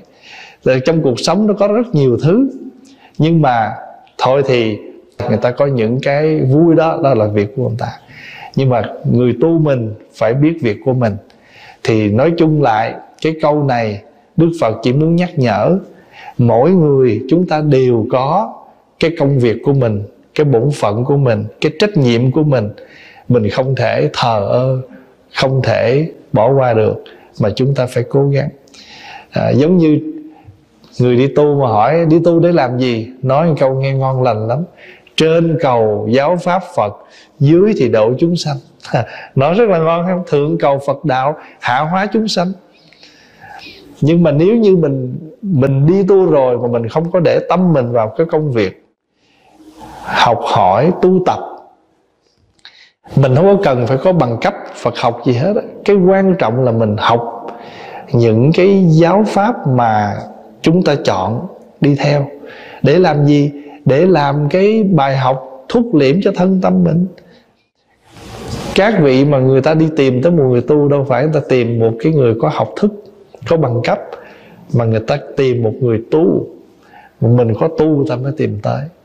Cũng giống như là mình ở ngoài đời ta muốn đi tìm một người thợ may thì đi tìm thợ may chứ không biết không không lý nào đi may quần áo mà đi tìm người nấu ăn. Người ta muốn người ta muốn thành tựu cái gì ta đi kiếm đúng người thợ đó.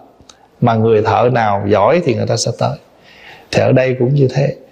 À, người trị thủy dẫn thủy. À, kẻ làm tên nắng tên. Người thợ mộc uống gỗ. Người trí nhiếp tự thân không ai làm chủ mình được tự thân tâm mình phải nhiếp phục lấy chính mình. Vì đó là cái việc mà chúng ta muốn. Cho nên ngài một vị thiền sư của Phật giáo Việt Nam đó, cái cái cái cái cái gọi là cái tinh yếu của sự tu hành của ngài là gì? Phản quan tự kỷ bổn phận sự. Bổn phận chính yếu của chúng ta là mỗi ngày phải soi lại lấy mình, phải thấy rõ con người mình. Đó là việc của chúng ta. Vì sao? Vì mình không thấy rõ mình, thì mình không thể chỉnh sửa mình để làm cho mình tốt hơn. Cho nên phản quan tự kỷ, lấy cái ánh sáng nhìn lại bản thân mình, đó là bổn phận của chúng ta, gọi là bổn phận. Phản quan tự kỷ, bổn phận sự, đó là sự việc là bổn phận của chúng ta vì vậy mà chúng ta có ngồi thiền, có tịnh tâm. Để làm gì? Để lấy cái giây phút lắng tâm đó, nhìn lại mình. Cho nên nó sau một ngày mình sống rồi đó, tối ngủ á, người ta hay kêu là gác tay lên trán á. Mình gác tay lên trán để mình lo lắng không à? Nhưng bây giờ mình gác tay lên trán, mình mình nhìn lại, lắng tâm xuống nhìn lại. Ngày hôm nay mình sống ra sao? Mình nói năng mình hành xử như thế nào? Có nhiều khi mình sơ ý mình làm người đó, bây giờ mình nhớ trực lại, khó chịu trong lòng vô cùng. Không biết đại chúng sao chứ, nhiều khi pháp hòa là hay bị cái khó chịu là đôi khi đứng chụp hình. Người này chạy vô chụp, người kia chạy vô chụp mà mình phải đứng như cái cái bức tượng cho người ta chụp có tấm hình vậy đó. Tại sao biết không? Cái vụ lỡ ai tới chào nói thưa thầy, tôi về. Nghe cái mình xoay qua đây mình chào người ta, cái mắt mình lé rồi cái người kia họ chụp xong mặt mình nó méo họ không chịu họ chạy lên nói thầy thầy hồi nãy chụp hình nóng đẹp thầy chụp lại. Trời ơi cũng khổ cái vụ đó lắm. Hãy mà đáp được người này á thì mất người này. Cho nên nhiều khi đứng trách trân vậy nè. Và cái người kia họ chào mà không dám xây qua chào trong bụng khó chịu lắm.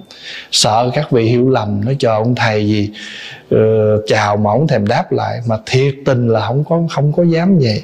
Nhưng mà nó có những cái khó là mình xoay qua mình đáp rồi thế nào lát có nhiều lúc đó, đứng chụp hình cả trăm cả, mấy trăm người vậy. Mà có một người tới năm bảy tấm hình nãy chụp mờ quá. Rồi chụp lại. Chụp xong rồi thầy cho con chụp lại đi thầy đẹp con không đẹp. Tôi đã nhất định phải chụp làm sao mà đến khi nào người ta đẹp mới được thôi thành thử ra thà là mình xấu. Mà người ta đẹp mới được. Mà rồi, rồi, rồi có đôi khi chạy lại thầy cho chụp lại đi tại thầy nhìn chỗ khác. Cho nên rồi một lần mà chụp phá hòa khổ nhất là chụp nhiều máy nha không biết ngó cái máy nào. Thôi thì bây giờ cứ đứng thẳng ngó vậy đi. Ai chụp hướng nào đó chụp mà tôi cứ ngó thẳng cái đó à, nhiều khi đi giảng có một tiếng đồng hồ đứng chụp hai tiếng. À. Thôi thì hôm nay chúng ta học à, câu kinh thứ 80 ha. Thì cái câu này ý muốn nói là tự mỗi người Ai cũng có cái bổn phận cái công việc của mình. Mình thợ mộc lo chuyện thợ mộc. Mình à, à, làm tên cung thì mình làm tên cung. Mình là người dẫn nước thì mình lo mình cái việc dẫn nước. Người tu mình lo việc của người tu. Cho nên mỗi lần qua đi giảng á, tới cái một vấn đáp á Pháp Hòa hay nhắc lắm. Quý phật tử nhớ hỏi những câu hỏi gì liên quan đến phật pháp thôi những cái gì nó không phải Phật pháp đừng có hỏi em không có biết. Em không có biết. Trời ơi nói cái chuyện Phật pháp mình nói còn chưa hết nữa đó. Mình nói còn chưa rồi nữa thì làm sao biết chuyện khác được phải không? Thì là cái, cái gì mình biết thì mình mới nói. Còn không biết thì sao dám nói? Mà nói càng nói bừa thì lại càng lỗi hơn. À, thôi thì mình cứ lo cái công việc của mình là tu tập. Mấy tháng trước nhà con có thờ Phật Chỉ là thờ tạm thôi. Vì tượng quan âm bị gãy ba lóng tay Lúc đó có một vị tới nhà con. Ông nói bàn Phật của con có người khuất mặt ở trên đó. Không phải là Phật rồi, Như vậy là không tốt. Ông kêu con hai tượng Bồ Tát và một tượng Phật Thích Ca gói lại trong tờ giấy Rồi đem đi vứt trong thùng rác. Mới đầu con không có nghe, con không có chịu ông nói ba bức tượng này không có phật đâu, chỉ là bức tượng thôi, để lâu là không tốt. Con làm việc gì cũng bị cản trở, còn ảnh hưởng tới gia đình nữa, con nghe như vậy mà cũng làm theo. Trước khi con bỏ, thì ông có dạy con, nói, ở chỗ nào về ở chỗ đó. Con xin hỏi thầy, con làm như vậy có tội lỗi gì không? Và sau này có xuống địa ngục không? Sau khi con nghe thầy giảng rồi, con rất là lo, con cảm ơn. Con làm như vậy là không có đúng phải không thầy? Xin thầy chỉ dạy. Thưa um, cái vị này nói rằng à, ở đó không có phật đâu. Chỉ có tượng thôi, nói đúng đó. Nhưng mà chỉ nói đúng một phần, nhưng mà không có giải, nói cái, nói được cái lý mà không có dạy cho chúng ta cái phương pháp tu tập là mượn sự để hiển lý. Xưa giờ chúng ta đều hiểu phật tượng chỉ là tượng thôi. Nhưng mà nơi tượng phật đó để biểu tượng cho đức phật, chứ đức phật không có ngồi trong đó. Đức phật không không có ngồi trong cái tượng đó. Chúng ta đều hiểu điều đó nếu mà ông không lẽ bây giờ các chùa hay là các nơi thờ Phật đều nói là ai dựa vô đó đem bỏ thùng rác sao? Không? Cho nên nếu mà nói rằng đó là bức tượng, không có sai. Nhưng mà phải hướng dẫn cho chúng ta rằng tuy rằng đó là một bức tượng, nhưng đây là một biểu, một hình ảnh tiêu biểu để giúp chúng ta nhắc nhở chúng ta trở về nếu mà nói như vậy, không lẽ mình ôm hết hình ông bà mình vất thùng rác luôn?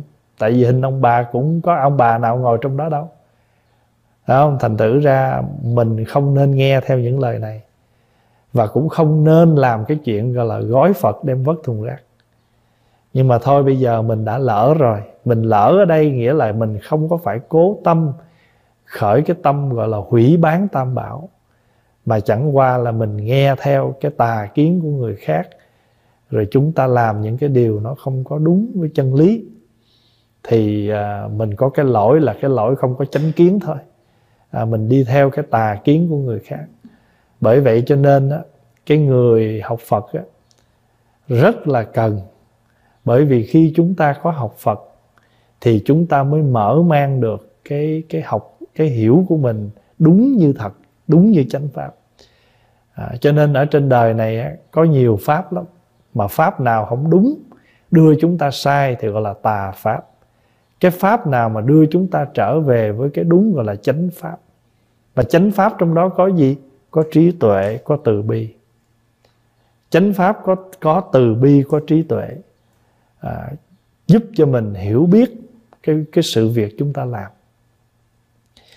Ví dụ như mình đi à, mình bất cứ việc gì mình làm.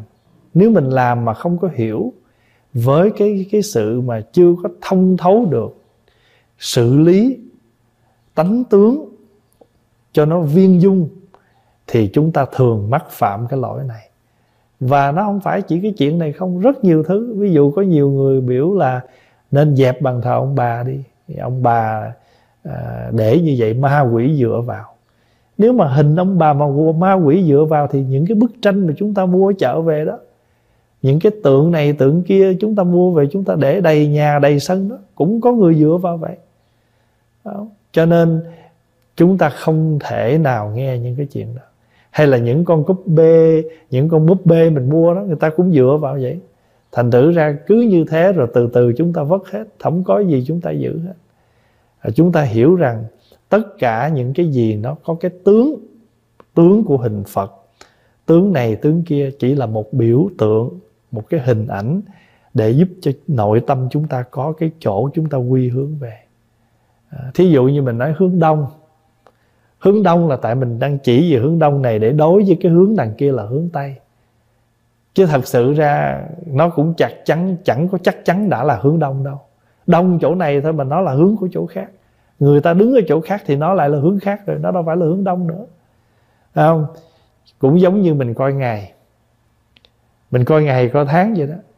Ở đâu coi theo đó. Ví dụ như ở đây mà coi ngày à, nhập liệm cho ở Việt Nam, hay là làm gì cho Việt Nam nó trật ở đây là 8 giờ sáng là ở bên Việt Nam đã 9 giờ tối mà của ngày hôm sau rồi. Phải không? Thành thử ra, ví dụ bây giờ ở đây, bây giờ mình mấy giờ? Ở đây bây giờ là 7 giờ tối chủ nhật 7 giờ rưỡi tối chủ nhật thể Việt Nam đã là 8 giờ rưỡi sáng của ngày thứ hai rồi. Thành nói chúng ta nói nó không cũng tận. Thì bây giờ ở đâu thì chúng ta làm theo đó? Chúng ta ở mức độ là chúng ta, Cái thời đại của chúng ta Có nhiều, quá nhiều những hình ảnh Nó có thể dễ làm cho chúng ta bị lung lay. Có quá nhiều những lời dạy Nó làm cho chúng ta bị lôi cuốn. Cho nên chúng ta cần xác định Cái nào đúng, cái nào sai. Thật ra ở đây không có nghĩa là mình so sánh, gọi là phân biệt kỳ thị nhưng ít nhất trong cuộc sống này nó cũng có những chúng con người mà sống á, mà có biết cái sai trái đó thì con người đó tự nhiên sẽ giảm cái phần gọi là lỗi lầm. Chứ ngày xưa á, khi mà các vị mà nhận mấy chú tiểu vô xuất gia đó khi nào chú tiểu đó đứa nhỏ đó nó có phân biệt được dơ sạch mới được nhận? Tại sao? Vì nó có phân biệt được dơ sạch thì ít nhất nó có thể tự chăm sóc nó được một phần nào. Bây giờ nó chưa biết gì hết cái là dơ sạch nó chưa biết nghĩa là nó còn quá nhỏ. Mà nó còn quá nhỏ thì làm sao mình đủ thời gian mình chăm sóc? Mình đem vô chập không khéo thì sao? Bận rộn cho mình mà chẳng làm được cho cho gì cho mình mà cũng chẳng giúp được đứa nhỏ đó. Cho nên à, hồi xưa các vị mới hay có một cái cái quy định căn bản vậy đó. Nhận một chú tiểu nhỏ nào vô thì ít nhất đứa nhỏ đó phải phân biệt được dơ sạch. Mà hệ nó phân biệt được dơ sạch nghĩa là nó có ý thức. Đó, thì quý vị nhớ con người sống mà chưa có nhận thức gì hết khổ lắm. Đó, mình sống ở đâu mình nhận thức cái đó. Bây giờ mình 50 tuổi hay mình 30 tuổi rồi mà ý thức không có thì quả thật mình làm cho nhiều người xung quanh mình rất là rối ren mà thậm chí có nhiều người sống không có lập trường. Nghe thiên hạ nói gì về nhà nghĩa là làm xáo trộn trong nhà lên. Toàn là những cái tư kiến của bên ngoài mà mình không rõ được gia đình mình ở đâu làm gì. Ví dụ tôi thấy à, nhà tôi á, ăn cơm 10 giờ đêm không à. à thí dụ ta đưa một vài cái lý thuyết nào đó đem về bắt gia đình 10 giờ đêm mới ăn cơm. thành ra mình mình mình chỉ mình nghe bên ngoài mà mình không biết được hoàn cảnh của mỗi nơi. Lý do anh tăng cô 10 giờ đêm là gì cả nhà người ta đi làm 8 9 giờ tối người ta mới về. Còn mình đi làm 4 5 giờ chiều về thì lo ăn sớm đi. Ăn sớm thì dọn dẹp sớm mà khỏe cái bụng. Đâu nhất thiết phải ăn 10 giờ. Hay thậm chí cái vị kia nói, tôi tụng kinh 12 giờ đêm không à giờ đó mới linh. Rồi mình về nhà tự nhiên đổi giờ tụng. Mà giờ đó cả nhà mình đi ngủ rồi bắt đầu mình nói là giờ đó giờ linh. Thế nó không giờ nào cũng được hết. Cái quan trọng là nó phù hợp với hoàn cảnh của mình. Cái thời cái thời gian ở nơi mình sinh hoạt vân vân. Cho nên mình phật tử là chúng ta học giáo pháp là chúng ta phải có cái cái cái cái trong sáng cái chánh kiến như vậy đó. Thì mới không bị những cái tà kiến khác. À, pháp hòa cũng xin nhắc lại chữ tà kiến đây nghĩa là những cái nhận biết sai lầm lệch lạc chứ không có gì hết đó ví dụ như à, mình tụng à, công phu sáng. Thường thì à, trong các chùa bắc tông thì hay tụng lăng nghiêm. Bà lăng nghiêm thì có tổng cộng là năm đệ. Nhưng mà thật sự năm đệ lăng nghiêm nó từ cái câu nam mô tát đát tha tô già đa gia. Tất cả những cái đó đều là những câu ca ngợi tán dương. Còn cái câu thật sự tâm chú cái câu chú lăng nghiêm chính thức chính là cái câu cuối cùng. Án a na lệ tỳ sa đề bệ ra bạc xà ra đà rị. Và chúng ta biết được cái cái cái đại chúng của chúng ta. Chúng ta biết thời gian của chúng ta. Chúng ta có thể ứng dụng linh động, uyển chuyển những cái nghi thức. Có hai nghi thức. Một là chúng ta tụng đầy đủ năm đệ lăng nghiêm. Còn không thì có một nghi thức nữa gọi là trì lăng nghiêm thập chú không có cái nào sai mà cũng chẳng có cái nào đúng. Và chúng ta hiểu được thời gian, mục đích của sự tu tập, hành trì, cái pha, cái thời lăng nghiêm để làm gì. Thì chúng ta hiểu được để làm gì thì tụng đủ năm đệ hay giảm năm đệ, nó không phải là cái vấn đề. Và cái vấn đề là chúng ta có nắm bắt được. Ví dụ đại chúng người ta không quen cái cái năm đệ đó mà người ta tụng trì năm đệ đó mà người ta không có, thì người ta không có tiếp nhận được cái cái cái cái niềm nguồn năng lượng trong khi tụng thì cũng vậy thôi. Rồi bây giờ mình cảm thấy mà thôi bây giờ mình không cần tụng những bài thần chú nữa. Mình tụng những cái bài kinh dịch ra tiếng việt hoàn toàn những bài kinh rất thiết thực. Mỗi ngày ví dụ mình tụng uh, kinh phước đức kinh từ bi vân vân cũng không sao hết. Tất cả những sự hành trì là do chúng ta chế tác. Phật không hề đặt để chúng ta phải tụng cái gì phật chưa bao giờ có một bài kinh nào nói sáng phải tụng gì, chiều phải tụng gì hết. Mà tụng là gì? Chúng ta ôn lại những lời phật thôi, chứ phật không không có gì lạ cả. Chữ, những chữ kinh là không có gì hết. Toàn những lời phật dạy rải rác trong cuộc đời của ngài. Đi gặp những hoàn cảnh nào, phật nói những lời đó. Bây giờ chúng ta đem ra thành một nghi lễ, một một cái nghi lễ để chúng ta tụng, nghĩa là lặp lại. Thay vì mình ngồi đọc đọc không có thể dễ buồn ngủ, vì nó không có thành một cái nghi lễ trang nghiêm. Và cái gì có sự trang nghiêm, có trân trọng thì chúng ta tự nhiên, chúng ta tiếp nhận nó một cách mầu nhiệm, trân quý nó. Thế nó thành nghi lễ thôi, thành thời kinh thôi. Chứ phật, thời phật đâu có nghi lễ gì đâu. Và đại chúng nhớ là những gì chúng ta đang làm trong cái thời nghi lễ này đều là do chúng ta chế tác hết. Chúng ta chúng ta tạo thành một cái nghi thức mà nên hiểu như vậy để chúng ta không có bị uh, những cái cái cái cái ý kiến lệch lạc nó xoay mình. Ví dụ như nói ô tụng như vậy là thiếu à, tụng như thế kia là không đủ tụng như thế nọ thế nọ thế kia không có vấn đề gì hết. Thậm chí bây giờ người nào không thuộc kinh không biết chữ một câu nam mô di đà phật cũng được cái quan trọng là chúng ta đã vận dụng cái tâm gì để làm việc đó? Cũng giống như ông bà mình hay dạy không? cúng dỗ cho cha mẹ, quan trọng là cái tâm, cái tấm lòng mình có. Một chén cơm mà thậm chí một ly nước lọc cũng được. Còn mình bày mâm cao cổ đầy mà sự không vui vẻ trong gia đình, sự buồn phiền với anh em, phiền não với nhau thì cái bữa cái bữa dỗ chạp đó nó không còn ý nghĩa nữa thì mong đại chúng là chúng ta nhận chân được cái đó để chúng ta tu tập cho có an lạc có hạnh phúc. À, thời giờ của chúng ta năng lực của chúng ta không dễ để bị những tà kiến đó lôi kéo và mất thời gian và nó làm cho mình à, lệch lạc những cái cái chánh kiến của mình. Câu hỏi kế là con cũng lại sám hối trong kinh nhật tụng nhưng con thắc mắc là sao hầu như ai cũng cầu nguyện Đức Quán Thế Âm Bồ Tát hơn là cầu nguyện Ngài Đại Hạnh Phổ Hiền. Thưa đại chúng à, có hai cái hạnh nguyện. Đức Quan Âm thì tượng trưng cho từ bi cứu khổ. Đức Phổ Hiền là tượng trưng cho hạnh nguyện việc làm. Mà đa số thì phần lớn mà con người cầu gì? Cầu cứu khổ, cứu nạn, cầu bình an nhiều hơn. Đó là mình nói theo tâm lý thông thường thôi. Đó. ví dụ như bây giờ mình nói đơn giản thôi, mình vô chùa, một mọi người chuyên cho mình ăn với người chuyên môn kêu mình làm việc. Chắc có lẽ mình sẽ kiếm một cái người chuyên cho mình ăn nhiều hơn. Còn người nào mà làm việc thì lâu lâu mình ghé vô mình làm chút vậy. Trong cuộc sống cái bình thường, nhưng mà mỗi người có một cái, mỗi một vị bồ tát biểu tượng cho một cái đức tính một cái một cái hạnh tu.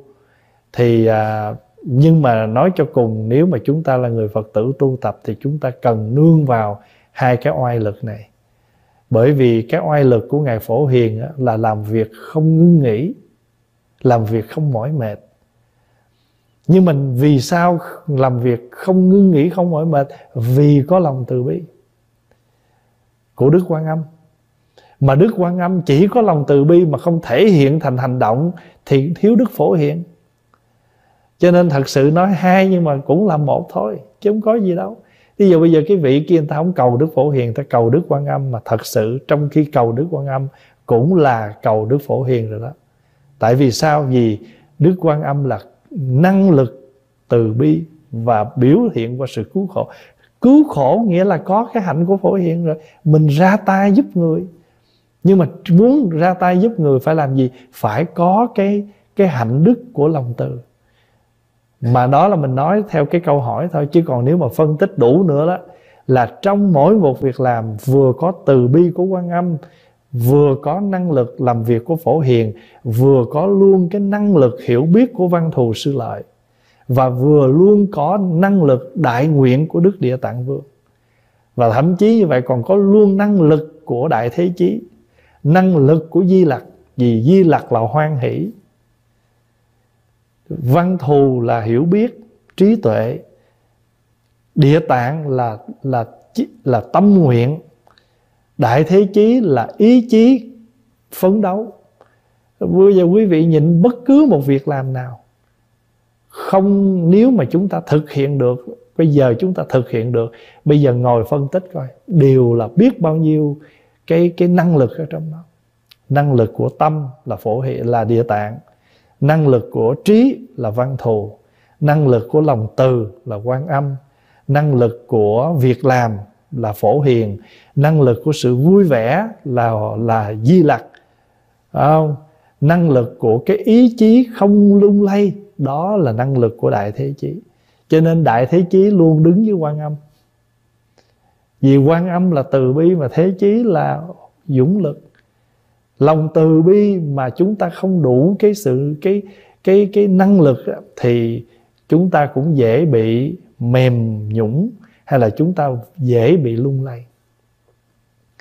Cho nên đại chúng hiểu là mỗi, mà thậm chí còn nói thêm nữa, mỗi việc làm đó phải có đức thích ca nữa, bởi vì đức thích ca tượng trưng cho tinh tấn nếu không có cái cái cái năng lực của tinh tấn thì làm sao mà có thể làm mãi làm hoài nhiều khi làm mà không được khen toàn là chê đó. còn cái chuyện mà người ta im lặng để mình làm là thôi mừng quá rồi có những người người ta không có thích im lặng đâu người ta thấy người ta không tán dương người ta không ca ngợi người ta không đồng tình mà người ta còn chê khen đủ kiểu nữa nhưng mà biểu người ta làm người ta không làm nhờ người ta phụ người ta không phụ nhưng mà người ta chỉ có một năng lực thôi chê.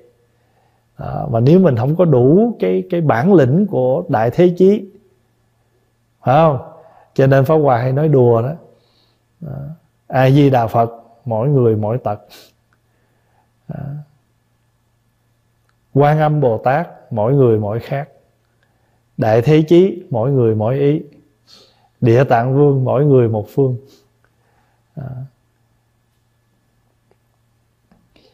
thì à, đó là cái chia sẻ với hòa về cái chuyện mà chúng ta cầu nguyện. Thật ra ở phật giáo nó có cái hay là một là tất cả. Một là tất cả. Chứ, nhưng mà quý vị nhớ là trong tất cả nó có đủ hết rồi đó. Trong một đó nó có đủ hết rồi đó. Tại vì một vị mà thành tựu được như vậy đó nếu mà không đủ những năng lực khác thì không thể nào làm việc được câu hỏi kế.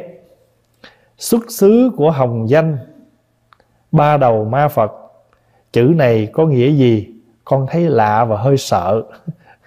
Này nghe nghe chữ ba đầu ma không?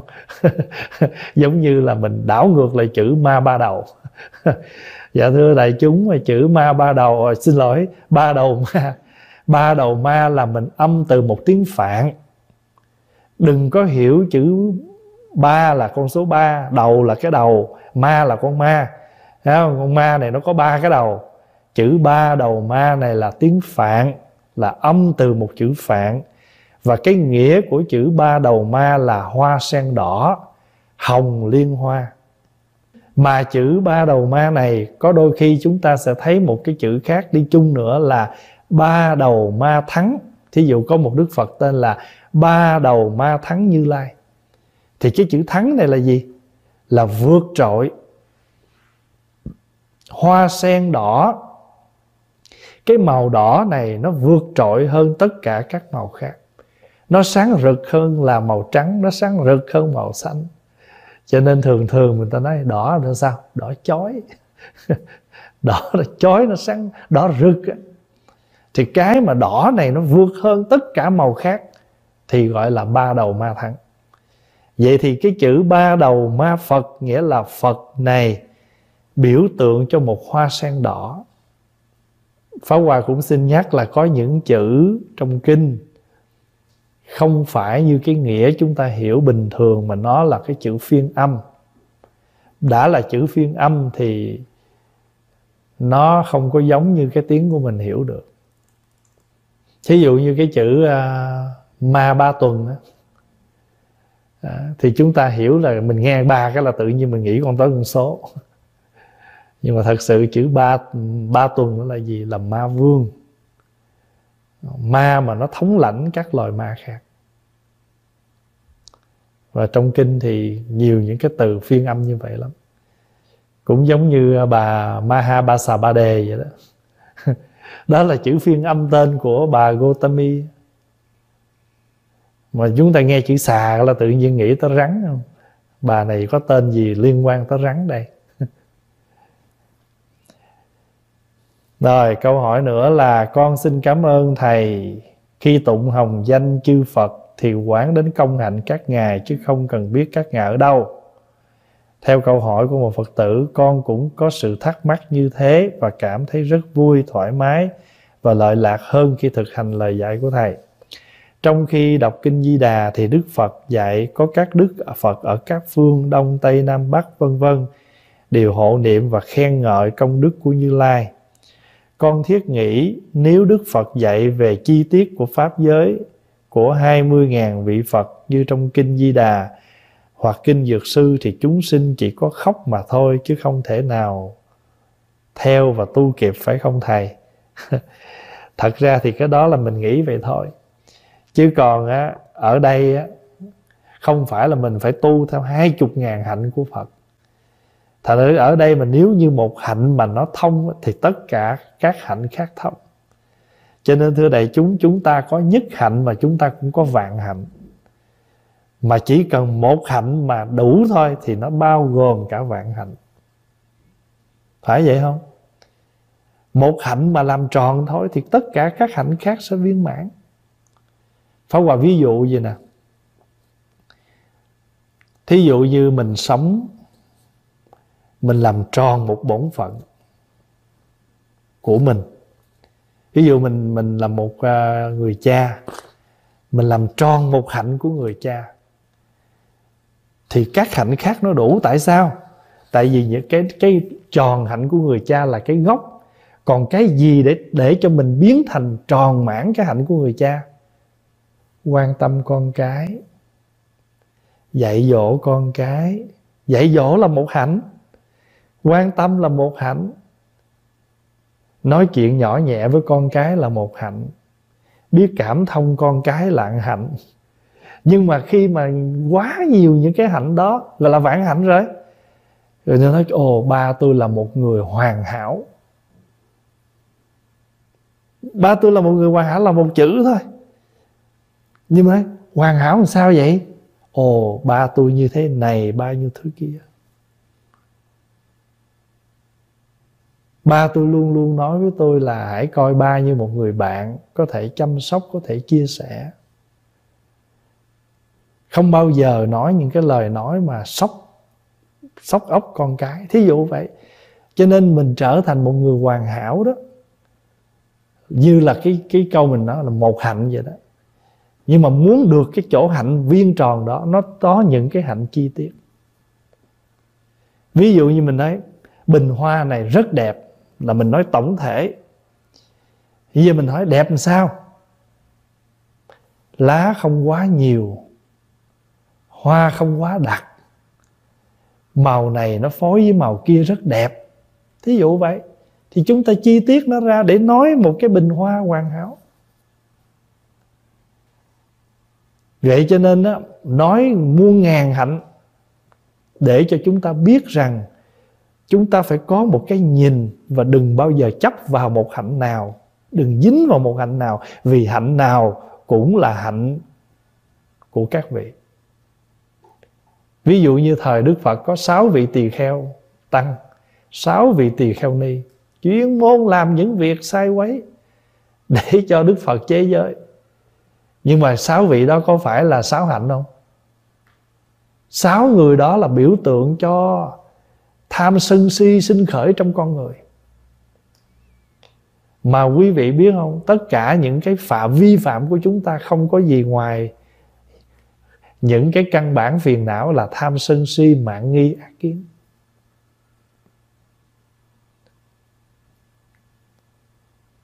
Bất cứ việc gì trong cuộc đời này chúng ta đòi hỏi chúng ta tranh đấu chúng ta lên tiếng chúng ta chửi bới chúng ta làm không có gì ngoài mấy cái đó hết khi chúng ta thấy chúng ta thua lỗ chúng ta phải lên tiếng khi chúng ta thấy chúng ta bị áp bức chúng ta phải lên tiếng nghĩa là hãy cái gì va chạm tới mình là tất cả những cái tâm hành đó nó sinh khởi và nó bắt đầu nó có sự tranh đấu thế này thế kia ví dụ như tại sao cũng cùng là tu mà vô cái còn ganh với nhau?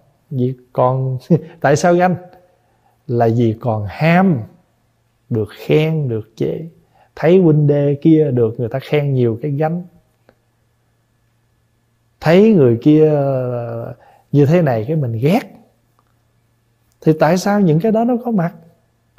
Toàn là, cho nên bất, tất cả những cái những cái tướng bất thiện nó sinh từ những cái tánh bất thiện. Cho nên mình có thiền sư vạn hạnh, mình cũng có cái thiền sư nhất hạnh. Một hạnh là vạn hạnh, mà vạn hạnh nó cũng là một hạnh đó. Mình nói như vậy để chúng ta biết gì? Biết mở lòng, biết ôm ấp, biết nhìn tất cả mọi người đều có cái hạnh tu hết không phải người xuất gia nào cũng giỏi. Hay là không phải bất cứ một con người nào mình tới gần hay là thậm chí con cái mình. Không phải đứa nào nó cũng lanh lợi. Có những đứa nó rất khờ, nhưng mà chính cái khờ nó rất thật. Có sao nó nói vậy, nó không biết gian dối, nó không biết miệng lưỡi gì hết đó. và có những đứa nó lanh lợi, nó miệng lưỡi quá, nó làm mình vui, nhưng mà phải để ý nghe thì chính vì nó biết lanh lợi, nó biết miệng lưỡi làm mình vui thì cái đứa này nó cũng có thể gạt mình dễ dàng, vân vân. Cho nên chúng ta phải thấy cái đó. Con thấy hồng danh rất là ngắn gọn như nam mô hỏa phật, nam mô hải phật, nam mô xưng phật. Rồi cũng có hồng danh rất dài như nam mô đông phương vô biên công đức bảo phước đức trang nghiêm quảng thế giới vô cấu thanh tịnh, quang minh bồ đề, phân câu tô ma bất đoạn tuyệt, quang minh trang nghiêm quang phật. Đó tên của một vị thôi. Nhưng mà thưa đại chúng, ở đây á, câu hỏi là có phải là chúng ta thêm vào không?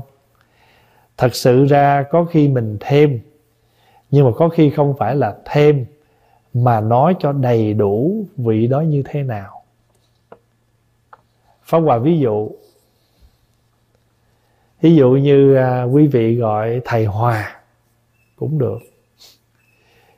Nhưng mà quý vị có thể gọi là Thầy Pháp Hòa à, Hay là Thầy Thích Pháp Hòa. Trụ trì tu viện Trúc Lâm Edmonton Canada đệ tử của ai? Mình nói ra đầy đủ ta nghe câu đó cái người ta biết xuất xứ tung tích của mình hết. Còn nếu mà nói gọn thay hóa vậy thôi cho nên ví dụ như ông, còn một cái người à, ở đây người ta hay viết tắt cái chữ lót của người ta lắm. Ví dụ người ta à, à, uh, Donald ta J cái mình không biết J này là gì Junior là Joseph hay gì đó. Thì ở đây cũng vậy. Thật sự danh hiệu Phật nhiều khi ngắn gọn chỉ có mấy chữ đó thôi. Nhưng mà nếu chúng ta muốn nói đầy đủ thì chúng ta nói vậy cũng giống như mà ở một vị hòa thượng tịch á, khi ngài tịch rồi mình mới biết hết xuất xứ của ngài à. nói dòng lâm tế gọi là từ lâm tế chánh tông, đời thứ mấy, tứ thập nhất thế. Rồi bắt đầu nói tên cúng cơm nghe. Húy thượng gì, hạ gì, tự là gì, hiệu là gì nhưng mà nói tới cái họ của vị đó cái nói họ thôi không nói tên. Thí dụ như vị đó tên là Nguyễn Văn à, Khê. Nhưng mà không nói vậy nó Nguyễn Công Hòa Thượng. Tức là nói à, cái vị này nói dòng pháp từ đâu đời thứ mấy. Rồi có khi còn phải nói thêm những gì nữa phải không? À, nói chức vụ của vị đó. Rồi hoặc là nói công hạnh của vị đó. Có nhiều khi vị đó đó là trú trì chùa A chùa B rồi nói là à, đương vi là tức là đang là cái chức gì đó. Rồi nguyên là trước kia là từng làm gì đó. Nói chung là tất cả cái gì chúng ta có biết gì về vị đó chúng ta có thể nói đầy đủ hết. Thích ca mâu ni là thôi đó. Rồi bây giờ mình bắt đầu mình mới nói đủ thứ về ngài hết như là ta bà giáo chủ, tam giới đạo sư, tứ sanh từ phụ, thiên bá ức hóa thân, bổn sư thích ca mâu ni phật. Thì những cái đó là chúng ta đưa vào. Hay là bây giờ các vị phật cũng vậy. Đây một câu danh hiệu nãy, cái cái câu này đó là gì đó? Là nói về thế giới của vị đó. Nói về công hạnh tu của vị đó, vân vân. Rồi cuối cùng tên của ngài chỉ là một vài chữ trong đó thôi thì cái đó không có gì mình thắc mắc hết. Có khi mình nói gọn mà có khi nói đủ. Ví dụ như mình lễ bảy đức phật dược sư đó nam mô đông phương quan thắng thế giới. Diệu hải trang nghiêm các tường như lai. Vậy thì vị đó tên là diệu hải trang nghiêm các tường thôi. Nhưng mà chúng ta còn nói luôn cả tên của thế giới của vị đó ở ở hướng nào? Hướng đông mà thế giới đó tên gì?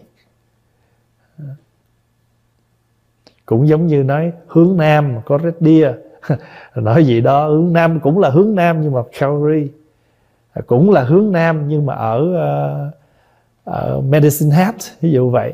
Ừ.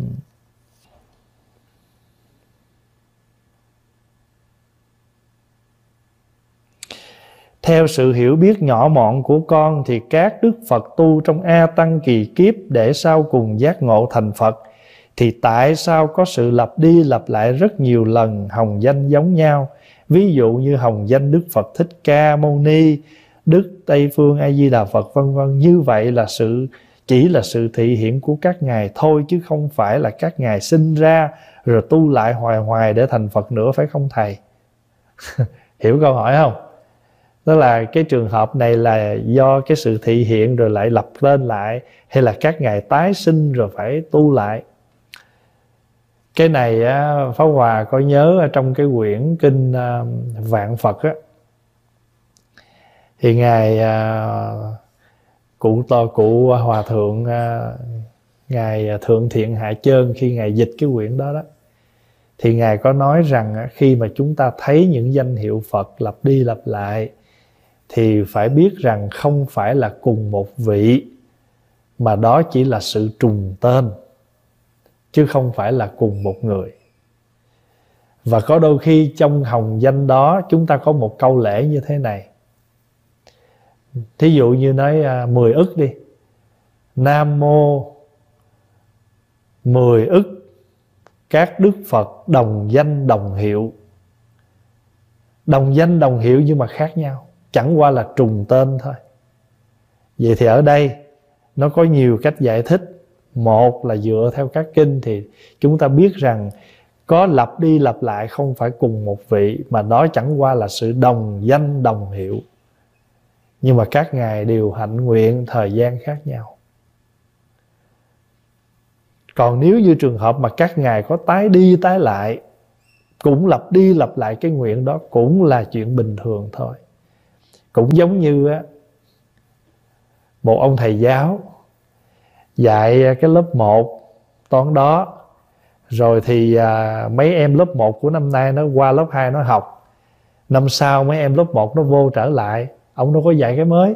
Ông dạy y cái cũ mà ông đã dạy cấp trước. Đây cái job của ông mà. Hãy cứ đứa nào lớp 1 là bài bản ông cứ lặp đi lặp lại thôi. Thì chư Phật cũng thế. Chư Phật có ra đời nhưng mà cũng đều lặp đi lặp lại những cái điều đó ví dụ một câu. Ba đời chư Phật đều đắc y ôm bác giống như khi mình thọ giới mình nhận ba đời chư Phật đều mặc y này mà giải thoát. Nay chúng ta cũng mặc y này để cầu đạo giải thoát. Vậy thì ngày nay chúng ta đắp cái y này không phải là mới, mà trước kia chư Phật đã mặc y này để làm phương tiện, sự nhắc nhở để tiến tu giải thoát, thì hôm nay chúng ta cũng mượn chiếc y này tiếp tục để tu tập giải thoát. Cho nên có lặp đi lặp lại cũng không là một cái vấn đề.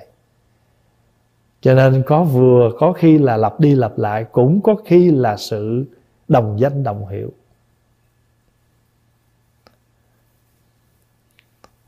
Cũng có khi do các ngài thị hiện ở các chỗ khác thôi. Ở đây, ở Việt Nam mình á, thí dụ như vị hòa thượng nào mà trùng tên á thì trong một cái, trong một cái, trong một cái đại hội, trong một cái lễ gì mà có những vị mà trùng tên đó thì các ngài hay mở ngoặt. Thí dụ như vị hòa thượng đó thiện gì vậy đó các ta mở ngoặt ta để bến tre. Để biết là vị này là vị ở bến tre, vị kia vị ở sài gòn, thí dụ vậy. Rồi, câu hỏi tiếp lương hoàng à, dạ, trong lương hoàng sám, xin hỏi à, gần cuối chương có câu nhất tâm đảnh lễ quy y thế gian đại từ bi phụ là ý nghĩa ra sao? Chữ phụ á, nghĩa là người cha. Chữ phụ là cha. Vị cha lành, có lòng đại từ đại bi của thế gian này. Thì ờ, trước khi mà nói ờ, đệ tử chúng con hôm nay ờ, ăn năn lỗi lầm, nhất tâm đảnh lễ thế gian đại từ bi phụ, nghĩa là bậc người, một người cha có lòng từ bi lớn của thế gian này. Trong đó là những danh hiệu của đức phật, mà đặc biệt nhất là đức thích ca mâu ni. Ngay trong cái cõi ta bà chúng ta đang ở đây còn thí dụ như nói đi đức phật di đà thì chúng ta nói là tây phương cực lạc đại từ bi phụ. Chỗ nào, các vị nào cũng đều là từ phụ của mình cả. Nhưng mà tùy tới tâm quy hướng. Ví dụ các vị tịnh độ, người ta gọi từ phụ a di đà chúng ta đều là, cho dù các vị tịnh độ, tu tịnh độ quy hướng phật di đà, cũng phải nhận đức phật chí thích ca là từ phụ. Tại sao? Bởi vì ngài chịu mình chịu sự giáo hóa của ngài ở cõi ta bà này. Và nếu không có ngài giới thiệu thì mình không biết đức phật a di đà cho nên dù mình tu đây là pháp hòa nói trên phương diện hình thức kính lễ. Chứ thật sự ra mình thờ một phật thích di đà cũng đã đủ chứ không nhất thiết. Nhưng nếu mà chúng ta nói là có trước có sau có thủy có chung à, có nghĩa là biết người biết ta thì khi mình thờ Phật Di Đà thì phải có thờ Phật Thích Ca. Vì thờ Phật Thích Ca là tri ân Ngài. Do Ngài dạy pháp môn niệm Phật cầu vãng sanh. Ngài giới thiệu cảnh giới đó. Ngài giới thiệu cảnh giới Phật Di Đà để cho chúng ta quy hướng. À, kính thưa thầy con xin được hỏi thầy tâm con hướng Phật lòng con hướng Phật vì công việc cuộc sống ngoài đời con chưa thể quy y được vì sợ mang tội nghiệp. Đầu óc con chi phối nhiều cái, chỉ khi nào con thấy thanh tịnh, vậy con có thể đọc kinh pháp hoa, trì chú đại bi, kinh sám hối, kinh, hay kinh vu lan, vân vân, được không ạ? À? nhưng con không thường không đọc thường xuyên, hay không theo một khung giờ nào. Đó vậy, con có mang tội không? Xin thầy quan hỷ cho con biết. Trước hết là dù chúng ta không quy y, cũng không có ai cấm mình không được tụng kinh niệm phật. Và hơn nữa đó, nếu mà mình sợ quy y vì sợ mang tội thì điều đó không nên. Chính vì chúng ta sợ tội cho nên chúng ta cần quy y. Quy để làm gì? Để mình có một cái cơ hội, mình phát nguyện và mình lánh cái đó, mình xa cái đó thì hy vọng rằng cái tội chúng ta bớt vi phạm. Càng sợ tội phải càng tu. Vì sao? Vì có phát nguyện thì chúng ta có cố gắng giữ. Dù chúng ta chưa giữ trọn vẹn nhưng ít nhất nó thể hiện được cái ý chí, cái tâm hạnh chúng ta muốn làm điều đó ở trong cái khả năng giảm thiểu của mình. Chứ đừng vì sợ tội mà không quý đừng nghĩ rằng á, mình quy, mình đã quy y rồi mà mình mình mình làm cái điều đó mình tội hơn. Dạ thưa không có. Mình chưa quy y hay là quy y đều tội giống nhau. Nhưng mà khi chúng ta có quy y rồi thì chúng ta còn nương tay. Chúng ta còn biết ờ, phục hồi cái cái tâm tàm quý của mình. Đỡ lắm chứ. Cho nên cần quy y. Cho nên đừng vì sợ tội mà không quy y.